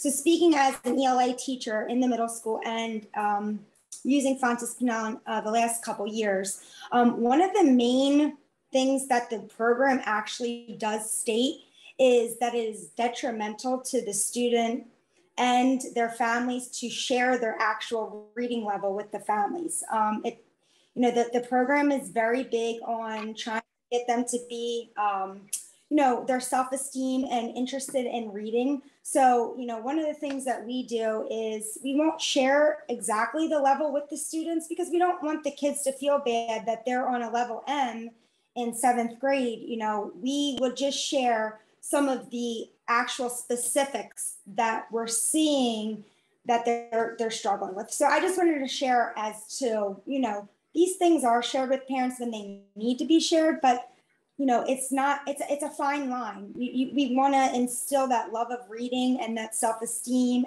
and that choice of reading. So when they hear that they have to pick from a, a letter M, you know, whether their classmates are choosing from a V, it kind of really kills their mood of wanting to read in the classroom. So um, sometimes it's just not very, very good for them to be very specific with the parents because we don't want them to share that information. So I might say something like they're struggling with making inferences rather than saying they're on a level M. So I, that was just all I wanted to share. And um, I appreciate you letting me talk. So thank you. Thank you so much. We appreciate it. Okay. Oops. I'm sorry, my, my audio may be going in and out. I don't know. Can you still hear me? Yes. Okay, cool. Okay, does anybody else have a public comment on a non-agenda item? Uh, no. No, okay, The- all right. Well then, uh, Harry, Yeah, just, uh, Dice had asked to use, I guess, three days a week, the school, I mean, do they pay, do they pay us at all for, for using the school, it's free, or do It's- they, you know, for it's- it's clean, free you know, for- having to it's free for them. Harry. And and uh, anybody who wants to use the facilities fills out facilities usage forms. We review them. Uh, we would like to be able to approve everything. We can't approve everything, especially now. Uh, just as Miss Mater was saying, Tammy Best, Merle Best, Bobby Hosier, Wayne Endicott, they are they are working hard every day, all day, and and, and Tim Allen, of course, I mentioned him. We we don't want to put as put more strain on our custodial team. So whenever an organization is asking to use the buildings, that's what happens is that our custodial team now has additional work. So we have received forms from different organizations, uh, DISA, PTO, Recreation Commission, and we've considered each of the requests and we've given responses to them, but uh, it is at no cost to these organizations if, if they use. So it is a cost to the school board to make sure that all that facility is cleaned properly, and that's what becomes an issue, because a lot of schools, same thing, you, you charge for whomever is using the facility to have the, a, a janitor, I have a maintenance person basically there. That's just something we need to consider, but like I say, once again, you know, the school board is given stuff that it to the township, which is great. That's how it should be. But at the same time, we shouldn't be having to struggle to the degree that we are. Mm. You know, it's just when organizations use a school building, they, you know, if it's a a strong union, they don't even let you in the building. you go to go to Camden and try to do an after school program without having to pay the uh, you know the custodial staff. Good luck. And not just there, a lot of places. It's just doing business. But I, I like the idea that we can provide that, but it shouldn't be at a cost to us. That's where I'm coming from with it. We're recognized at the, you know, the city, the community level and the township level that you know there are these little things think about you know there the library and there used to be two people that the town was paying and now we've we're paying one of them and much better than the township Well, well. Harry, that's separate. there's I, I want to make sure that's accurate. Uh, we do have a staff member who works for us that also works for the library. That, that does not mean we're paying that staff member's total salary for what they do for the township. right right but that for person What they do for the district as a teacher. Okay that's fine but they're they're what part-time not a full-time teacher Part-time teacher, yes. I just want to make sure it's accurate. yeah no We're paying yeah no no the that's library that's staff a member better accurate description of it. Yeah, I didn't realize she was still working the other, what she had done before she started working for us. I didn't realize she was still doing that. So that's on me. So thanks for clarifying that, Joe.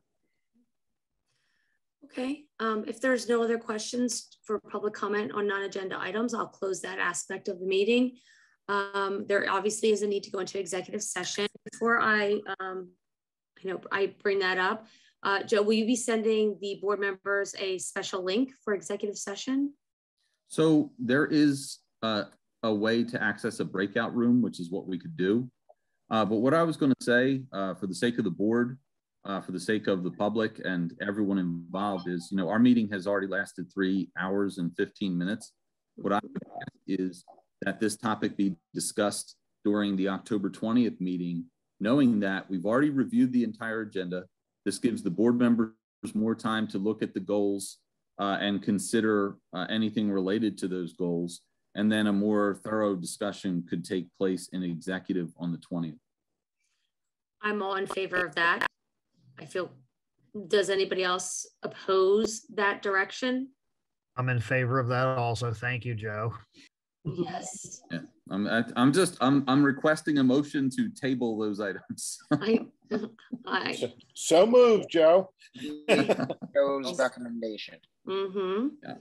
Okay, if that's the case, we will then move forward from that aspect of the agenda, and then I will make a motion to adjourn. Do we have to vote on that with Joe had? Do, do we need a vote on that? Uh, Okay. You could, if you made a, I, I thought it was just a motion made in jest. If you want an actual motion to table, then you could do a voice vote to table. Um, or the, or the, uh, board president can just exercise executive privilege and rearrange the agenda. Whatever you want to do. Okay. That sounds like a good option. Yeah, I think that I'm just going to exclude that aspect of the agenda, and we can revisit it at next week's meeting.